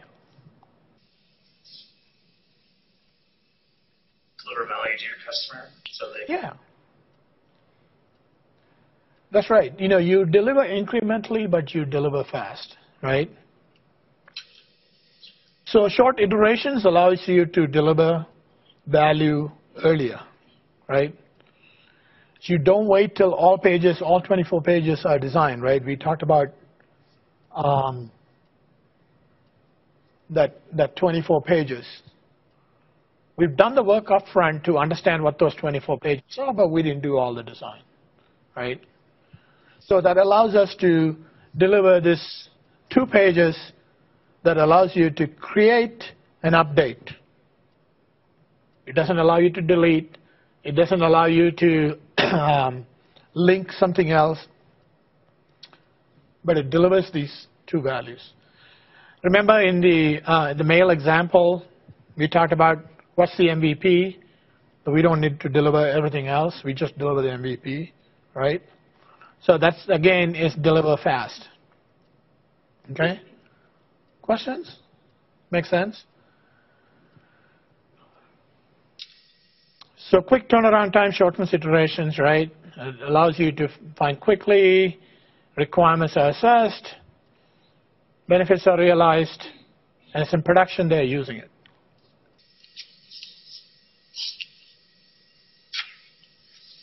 So, but deliver fast doesn't mean that you hurry up and deliver something, you know, haste is waste, right? It does not mean developing without planning. Hey, let's hack something together and let's try and deliver this without testing, without thinking about the overall architecture, without thinking about any of these. So you plan and and then you can do iterations, but you should be ready to change. So, you know, again, another thing is deliver fast allows you to cycle, you know, drive down the cycle time by delivering small chunk of meaningful work that is useful to customers. Not because it's smallest chunk, but if it's not meaningful to the customer and it doesn't deliver value, they just feel like it's noise. Right? You're delivering something, but they can't use it. It's not. It's, it's no value to them. Okay? So right now we are doing a project that allows the faculty to allocate all the funding that they have in the College of Arts and Sciences. They have nine big chunks of work they do. They create budget journal entries, they create commitments, they create reports, they um, provide people administrative access. So nine major functions. we went and asked them, what's the most critical function you do? If we give you that function, not all nine, just one function, would you use it? And what would that be? And they said, oh, we just create budget journal entries every single day. So we submit this budget journal entries to PeopleSoft every single day, or at least every single week. That, you know, hey, the funding allocation changed, this is what everybody should be getting. So they said, if, if we deliver that to you, they will use it, even though eight other functions are not available. It's like use it right away. Yeah, so so we've been working on it for three months. You know, we're going to deliver that, but it's going to take another six, seven, eight months to deliver everything else. But we've delivered value within three months instead of waiting nine months. And then every two weeks after that, they should Every every month after that, it takes longer than that. Every month after that, they'll get some new features. Yeah, yeah. So I think I think we talked about the MVP. So here, here this is, let's say, budget journal entry feature, admin feature, report feature, email feature. This may all may not make sense to you, but there are nine features. So we created uh, an app that has these nine boxes, but we're only going to deliver this. The other boxes are all empty. They don't do anything. They just look pretty on the thing, but there's nothing underneath that. But if we get them, they, they told us that they can actually use this to submit all the budget journal entries to PeopleSoft. This is the backend system. So they can create journal entry and submit to PeopleSoft. That's major functionality that they do. And we deliver that, we deliver value to them. So that's going to take three months to do. This might take one month to do. That might take another two months to do. That might take one month to do, and so on and so forth. But now, you have delivered value incrementally. Say this is a whole project, nine months. You have delivered value in the first three months. There's a lot of foundation work we have to do, but you got BJE, and you got a report, you got email, and you complete the project in nine months. I'm trying to give you examples so that it makes sense to you instead of trying to talk abstract here. Okay? Does that make sense? So that's what deliver fast means. Deliver fast means you plan for the whole thing, but you deliver value quickly as possible. If we could wait nine months and deliver the whole thing, what would have happened if we did that?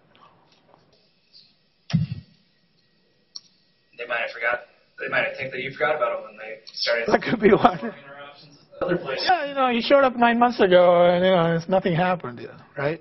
That's one. They found another solution to the. They- Yeah, they found another solution, yes. What else? What else could happen? Oh, they thought, oh, we want a tenth one now. Right? Oh, we want a tenth one. Oh, we don't need this anymore any longer. That could happen, right? But it's all good. We didn't waste any time. We waste designing all of that.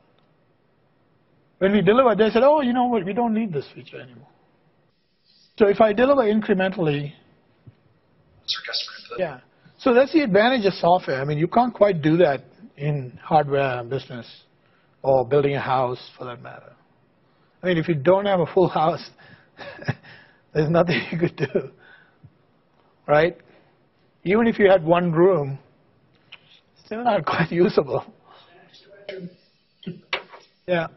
See what I mean? So that's the advantage of software. That's the difference between physical world and the software world. Okay? Questions? Yes. Any example about the fourth point? The fourth, the fourth Fourth, point. fourth one? Yeah. Limit size of, req- this one? So limit size of requirement in process to your ability to deliver. So size, so size of the requirements means um, you don't need to gather all these requirements. You, you kind of know at the highest level what the requirements are. We know we have to do an email feature, but we don't need to dive into it now. Okay? We just need to plan for it. We should know a high level. Hey, in database, we need to make sure that we have a field. We need to write some APIs. It needs to fit in the screen. We don't need to design the UI yet, right? But we know what the template of the UI looks like. But we didn't do any work. Do you see what I mean? Yeah.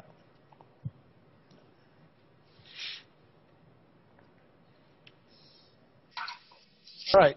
So the next one is empower the team, respect people. And this is kind of touchy-feely thing, but tell me, it's also somewhat cultural, but definitely in this country,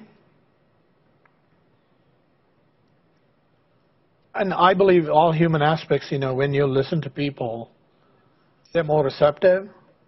They're, they're buying in, right? We talked about the buy-in and the developers. You know, if more times they're empowered to make the decision, uh, then you have a better outcome. Let's think about um, why that is more important. Because you, as a project manager, may know at high level how things looks like, but they would know in order to do this BJE, they have to talk to PeopleSoft. They know about the APIs, right? They know about um, a warehouse where they have to go pull all that information. They know about that. You don't need to know, right? And you wouldn't know anyway. Otherwise, you would be a programmer yourself, right? Or even if you're a programmer, they know intimately more about that, and that's why you hired them in the first place. So you hire somebody, and then you're trying to tell them what to do, then basically it's all your knowledge, and you're not leveraging their knowledge. Okay?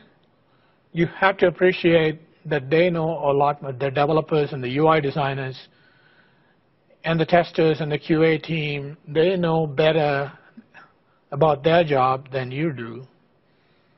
because they've been at it. Even though you may have done that job some time back, they're current practitioners, right? So, so that's one aspect. Definitely they do know more than you about the specifics, right? But what's more important than that?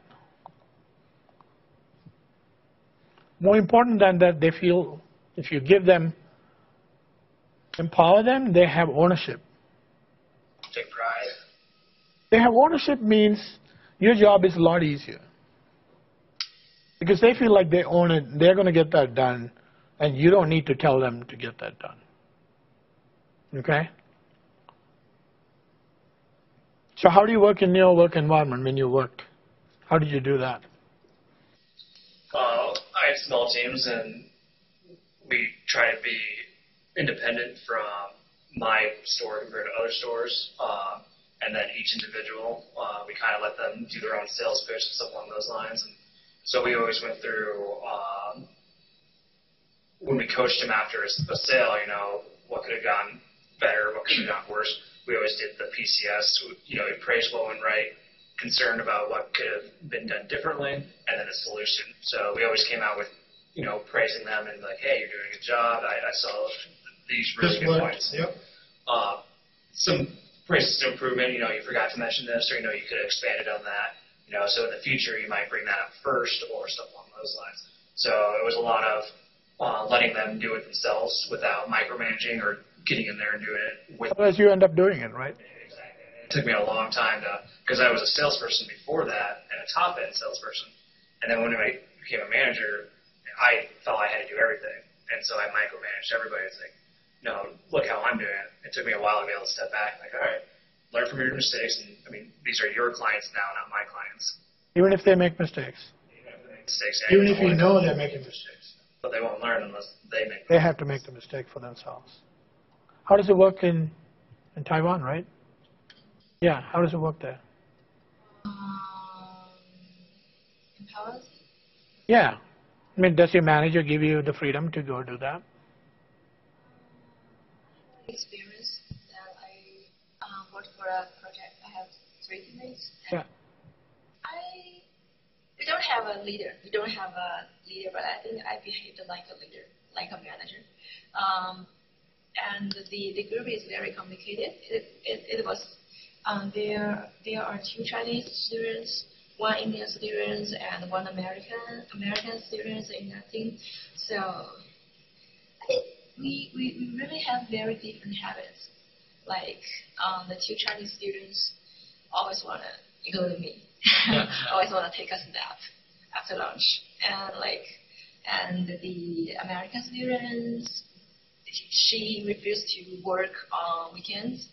And the Indian students, he he was he was ill, so he can he cannot he cannot uh, do a lot of con- uh, contribution on our task. Um, so I I empower the team by by work with each of them individually. So I got a lot of time on that. And I work I work with that Chinese students when we are all free and I on weekends. That so I can so I can uh, so I can spend spend my time with that American student during weekdays. Mm-hmm. But the, the biggest problem was that Indian students. But um, understandable, understandable, right? Yeah. Uh, I empower the team by um, try to persuade them. Um, because in, in, in the field of EECS, there are a lot of Asian Asian Asian employees. So I try to persuade that uh, American students that, well, if you wanna, if you're interested in this field, you will have to deal with um, people from Asia. Mm. It is good time for you to uh, try to uh, get them Learn something and grow and everything, right? Yeah. So yeah, yeah, the key thing what you're saying is what's in it for them, right? Right. What is good for that individual? For them, yeah. And just understanding that and enabling them, and then giving them the freedom to make that mistake and learn. And to that Chinese students, I said, well, in this country, many people they they just they just don't take nap after lunch, and uh, in American companies, they they want to give you a very long time, not like in my country. Yeah. They want to give you a very long time to, to take a snack Yeah. to enjoy your lunch. Right, right. Right. It is a chance for you to um, get used to that. If Yes. you wanna if you wanna work in this country after graduation. Yeah, yeah, yeah. Yeah, there's definitely cultural differences, right? But I think the key fundamental thing across culture is understanding their motivation. You know, what what's in it for them, right? You know, and some people like praises, some people like autonomy, some people like pay. It's just different things, right? So, or maybe a combination of some of those things. So you're just trying to understand, and a lot of times with software developers, what's important for them. Typically, most of the software developers I hire, I make sure that when I hire that they want to grow. It's important for them that they themselves want to grow, technical capabilities, and personally they want to grow. That they want to learn and they want to grow. I hire for that. I only hire those people who want to do that. And then it fits the culture. But there are other cultures as well. I'm not saying that'll work. But for me personally, I just hire those people who want to learn, who have put in the effort um, that they want to learn. And then I can provide a learning environment. I can provide a learning opportunity. I can provide them with a project that they can make mistakes and learn. Because they came here because they wanted to learn. Does that, does that make sense? Yeah. So, so when you hire, there is an aspect that you have to hire for. But if you hire for, you know, like, hey, you want to get home run hitters in your team, and you got nine nine people who are home run hitters, but there's no shortstop, there's no pitcher, there's no catcher, and I just hire a different team. I hire a baseball team, right? I don't hire all home run hitters. So there are people who are home run hitters, and we need them in the team, but we also need shortstop. Too many superstars. Sometimes can't get anything done with them. Well, I mean, they have a purpose. They have a purpose, you know, when there's crunch time, they can go hit that, that's fine. But we still need to do catch, pitch, throw the ball, yeah, we still have to do hit singles, right? Still hit singles, right? Does that make sense? I really have a, a question. Yeah. Like like in case study one, um, cultural dysfunction was mentioned. Yes. Yeah. Like I, like what I just said, I worked in different groups. Yeah. Um, sometimes I sometimes uh, Chinese students who are just like me, and sometimes I work in more complicated, uh, more like uh, in some groups that uh, I have American, Indian, or Pakistan teammates, and I think uh, people from different cultural backgrounds do have different thoughts, and that sometimes can um, that can be a good thing for our projects. Yes. Diversity. Different way of thinking, yes. Yeah. Sometimes um, the efficiency Yes. will be will be a problem if we cannot um, we cannot make a very good negotiation with each other. Right? Right, right. How would you solve that? That's a trade-off, right? Yeah. But how would you solve that kind of stuff? in in my experience, those groups are small groups. So I can solve those groups. So I can solve those pro- this this problem in the way like I, what I said. I um, try to persuade uh, persuade them individually. But if I was a manager in a very large group, a large company, do you think is it is, is, that still a practical way to solve this problem? Yeah. So how would you how would you manage a large group? Is that the question, right? You know, you, you can manage a small group, you can persuade them, right? How would you do at a larger group, right? That's the question. Because in a large group, I think um, it is very likely that people from different backgrounds Yes. will become small groups Right. in a large group. Right. So it will be more difficult to affect them, to, Yeah. to make a to make a very essential critical influence on them. Yeah. So one way, again, you know, it goes back to hiring. Oh, Yeah. So when you hire, you hire for the culture. Okay, you want to, let's say you want to start a company that you want to grow up to be, say, 100 people. Okay, over the next three years, let's say. You hire the first three set of people or five set of people that has the same culture, and over time they're going to become managers of the next set of people you're going to hire, right? So you all agree on that culture. When you expand, you can influence that culture because you hired this value, not racially or ethnically, the same people. That's all diverse, but value, right? You know what what you value. In my group, we value learning. We value high quality software. We value independence. Those are those are our values, right? People have flexible time, but they have to get the job done. Quality is important. Quantity is important. But and, quality is important. Timeliness is important. When I do performance review, I grade those two things. So you have to reinforce. You have to hire for the culture and also reinforce. So you hire for these values. So when you interview, you talk about. Tell me about the quality of the job you did. Tell me about the um, you, uh, project you delivered on time. That will tell you a lot about whether that person fits in your culture or not, right? So you have to hire for the culture. And then the second part of that is you have to reinforce. Reinforce means what you reward them with is for those values.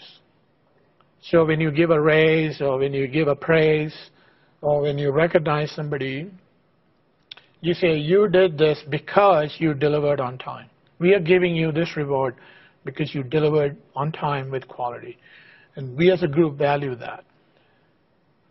Not because you did 10 things and Colter only did three things. That's not a value to us. Because you're a home run hitter, he's a shortstop. That's fine. You hit three runs, you hit 10 runs. We are not rewarding that. We are rewarding timeliness and quality. You see what I mean? So in my performance review, those are two separate, uh, separate items. So you have to hire for that and you have to reward that. So it reinforces other. Okay? So where you come from, what background you have, how many different companies you work for, I like different things. Okay? I like that the more diverse it is better. Not just culturally or racially or anything, but what different companies they work for. Okay? What different technologies that they know. The, the more the better, or different the better. Just because you have the same values, that doesn't mean you hire the same type of people. Do you understand? They could be different types.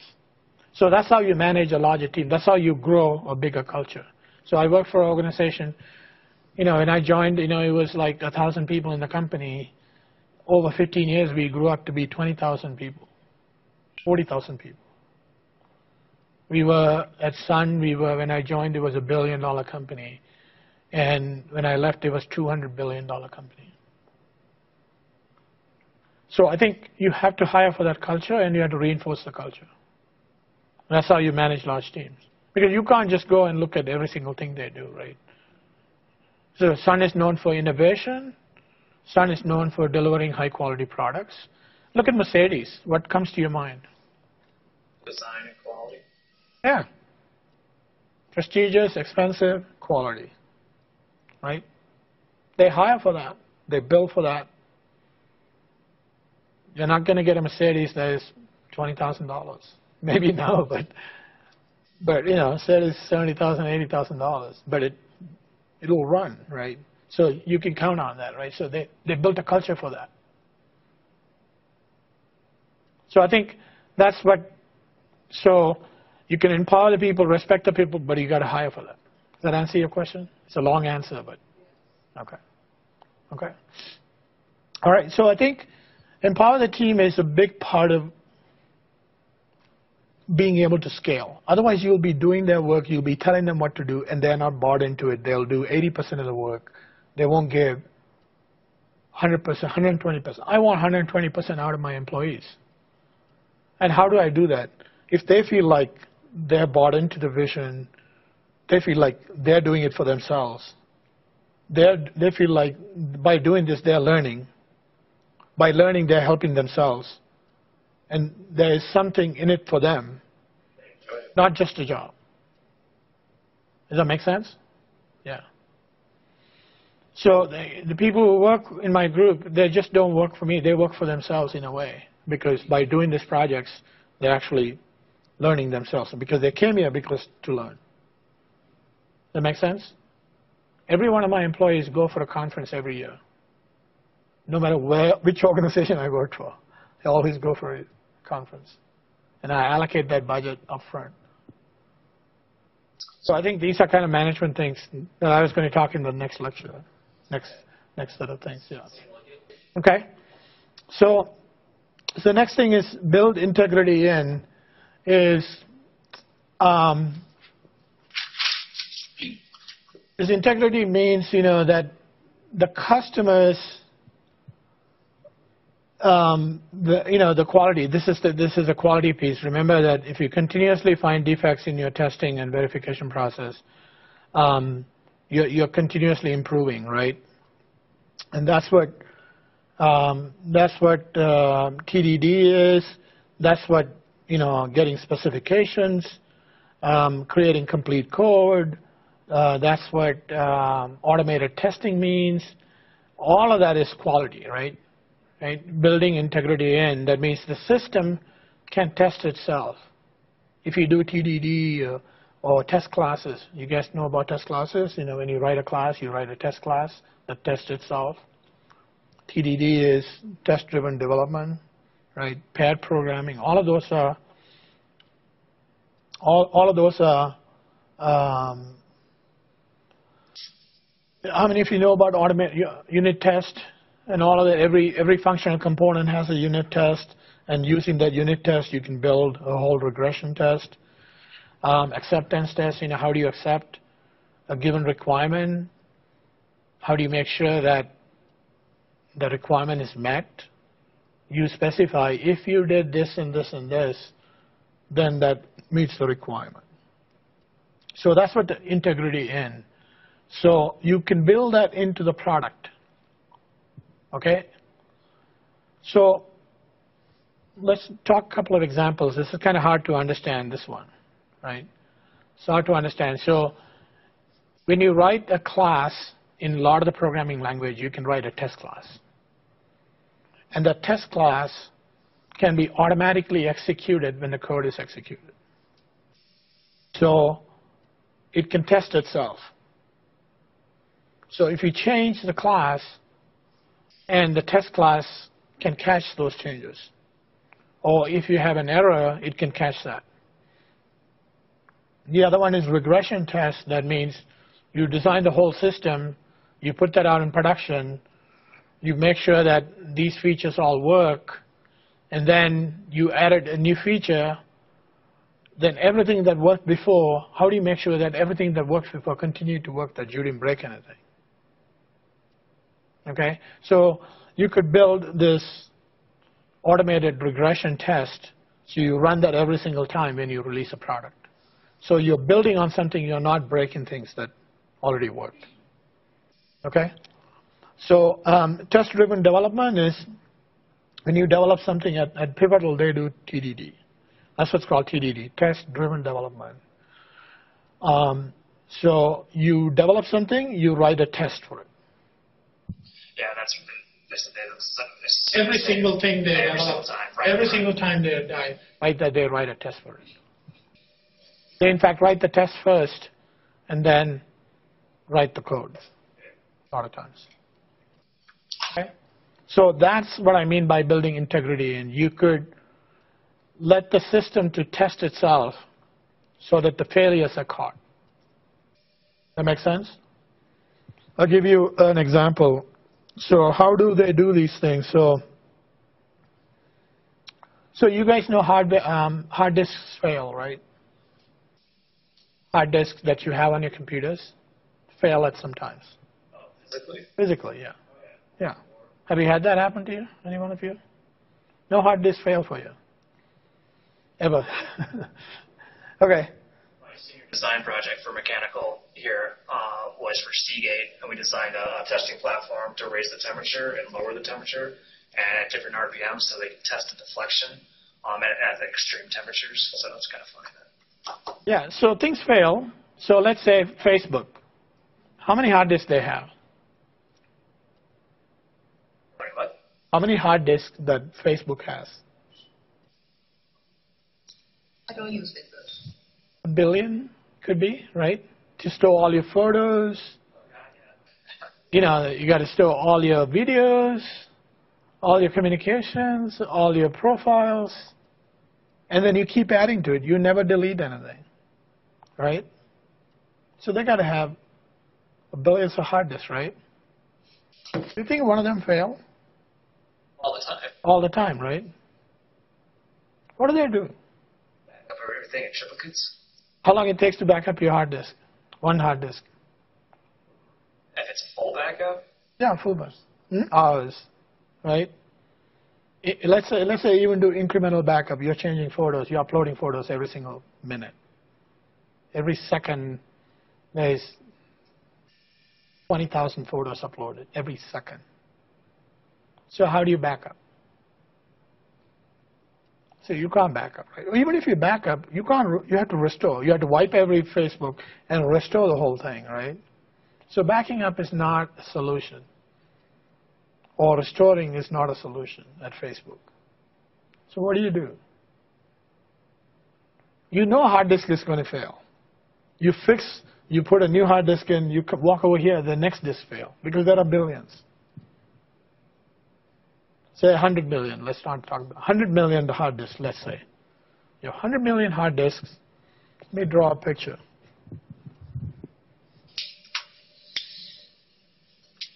Let me draw a picture. Let's say this is Facebook's data center in Iowa. Okay?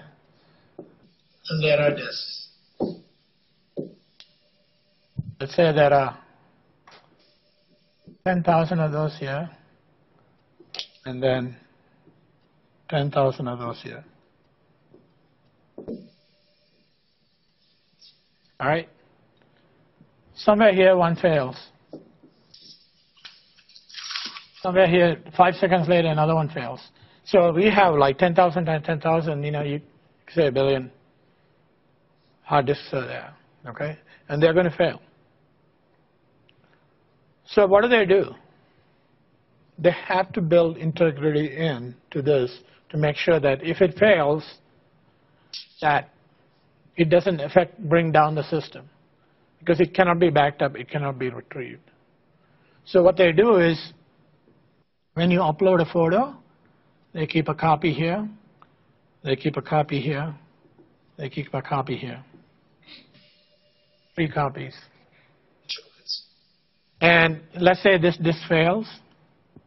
They put in a physical ne- new disk, and while you're watching uh, your photos and everything, it makes sure it had it here, it makes a copy of it here, and com- compares these two and makes a copy of the whole disk again. It knows where to look. Where to look and where to copy all the time. And it's constantly doing that every single moment, even if you're viewing it. Because your viewing is coming from these two and not from that. So they keep three copies of everything you do in three physical disks.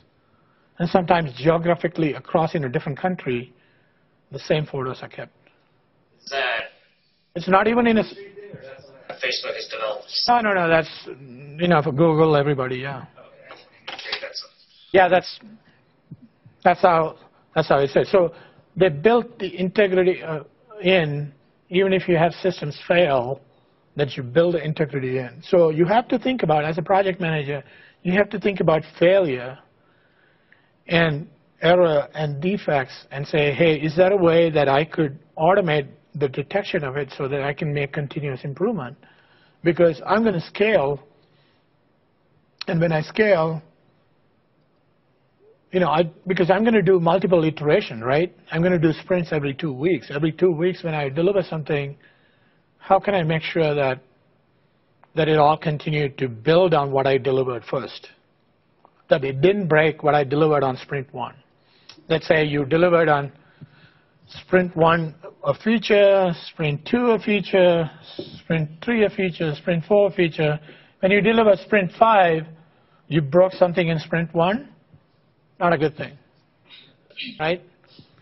That could happen, right? Because you change some of the functionality here, right? So you have to build automated tests every single time. This is what TDD is, and this is what test class is. This is what regression test is, right? So you build that integrity in. So when you do release 5, before you release 5, what do you do? You run through the test for all of these before you, before you release 5th. So that means you made sure with 1, 2, 3, 4, 5, it all works the way, and 1, 2, 3, 4 still works. Okay? So that's what, that's what building integrity and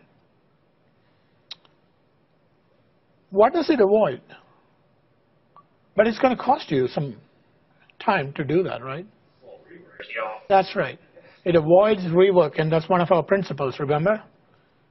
That's one of our principles before. It avoids rework. Even though you spend time doing some extra work, in the long run it avoids rework. Following me? Make sense? Okay. So you as a project manager really should ask the question, what questions would you ask of the team?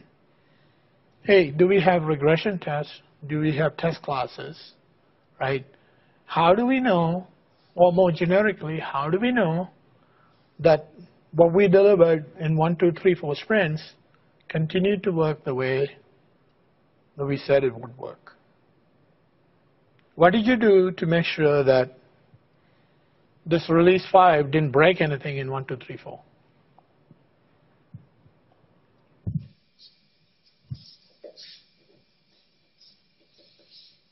Questions? Does it make sense? It's a little extra effort, right, to do that. You're smiling. What are you thinking? I think it's it's kind of like what uh, a lot of people do in uh, power transmission system. Is that right? Okay. Uh, people uh, cost more money on building more uh, a more complex system to make sure that if one point failed, um, power from other points can. Yes. Yeah. So, so Facebook, just so that you guys know, this is not all in Iowa. They might keep one of these copies, one of the three copies, say in, say in California. Why is that? if the whole building burned down, you Yeah, exactly. All right. all your eggs. So there's a copy out there somewhere.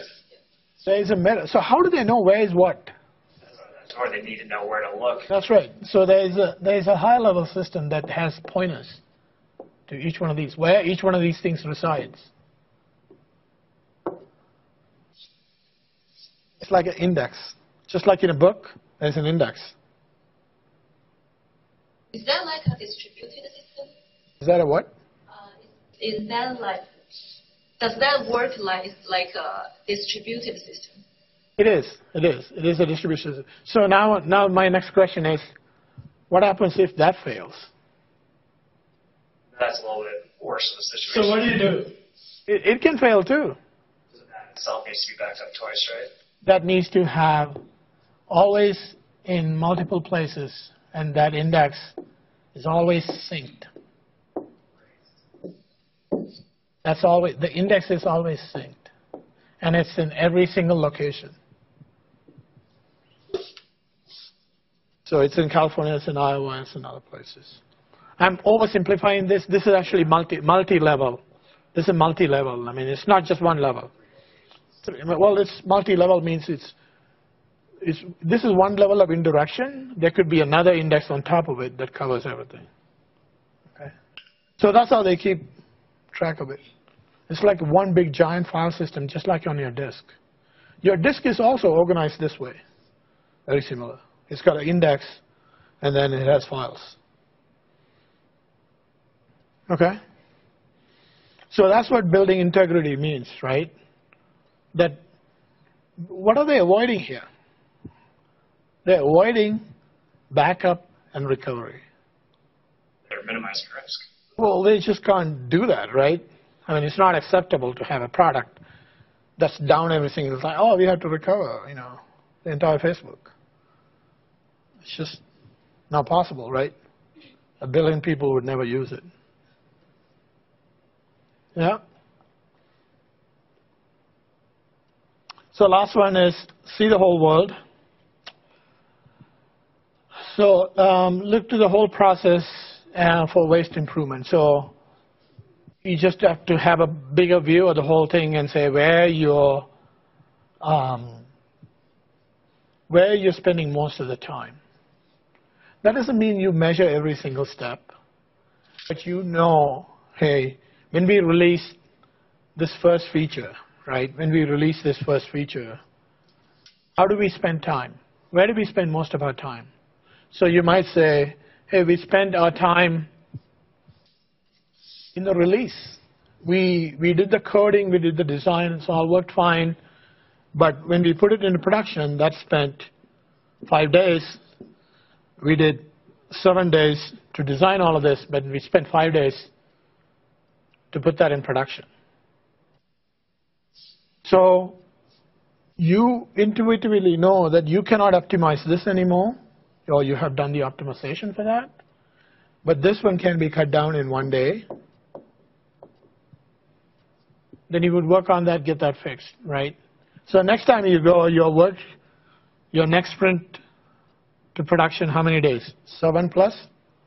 One. That's eight instead of 13, right? The 13, 5 plus 12, right? Because 5 plus 7 is what you had in the first sprint. Now you have 7 plus 1 because you optimized this. You got it? Make sense? And then next sprint, next sprint you go, you have now 8 days and you say, hey, if I had the design, I could cut down, if I had the design in advance, I could cut down one day of waiting. So now I have 6 plus 1. Back to the original. You understand? So you're, you're continuously optimizing. But you're looking at the whole picture of what works and what doesn't work. Any questions?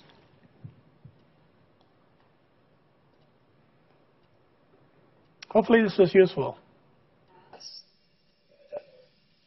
Yeah, so I think, you know, just looking at lean development is not trying to cut costs or have pay people less or things like that. It's not what that is for. It's just trying to optimize as much as you can. And the principles is what you need to pay attention to. It's very difficult. It, it requires a lot of experience, practical experience to identify um, what is waste and what's not. Exactly. Where you have the waste. It's, it's, I mean, the good analogy is the supply chain in, in building a car, right? Or you can think of other places you worked in civil engineering, you can think of what it takes to get a house done, right? And how can you shrink that? How can you do the next house more efficiently or a lot quicker and easier. yeah, because you know, right? You worked out the kinks in the system, right? And that, but but the nice thing about software is you can continue to improve, right? Every iteration is like building a new house, and every iteration you can improve, and that's why you have retros. And then you have to have this open communication. You have to have this open communication because you might think someplace is where the inefficiency is, but it might take but if you have the whole team view then you know they would have a better idea right? All right that's it for today and um, now i'm not going to go yeah yeah. Uh, in an article about about Scrum uh, Scrum development, I read um, it says that Scrum will allow uh, allows um, some failures like like if, if the team promised to um, release a new function, uh, several several new functions, but but one of them um, failed. It is allowable in Scrum development, right? Is that true? That's the most important one in terms of value to the customer. It's not just one functionality. That's oversimplifying. You might deliver two functionality, that's fine, but the most important thing from a customer point of view, right? And so, but you you know, it can be multiple functionalities depending on the capability of the team and the sprint length and everything. But typically, yes, you're right. You want to have focus and depending on how big you want to think that feature is, right? For instance, I talked about the BJE, the nine things that I showed you in the previous diagram, right? This one, I talked about the nine things. This is this took actually five sprints to deliver. Yeah, but within that, I have specific functionality. Yeah, it's it's all relative. Yeah. Okay. Sprints. So the first four sprints, you didn't actually give anything to the customer, right? Because you didn't have. No, we didn't do it. You didn't have a working full. Yeah, we had to get a lot of things done because we had to do a lot of legwork for all nine things. Yeah. That's why the second one is one month. The customer doesn't necessarily have to get every something after every sprint. Yeah, but especially at the beginning of the project, you can't deliver. Yeah. MVP. Yeah. Make sense? All right. See you next week, and I'll post uh, the discussion tonight. Okay. Thank you, Edison.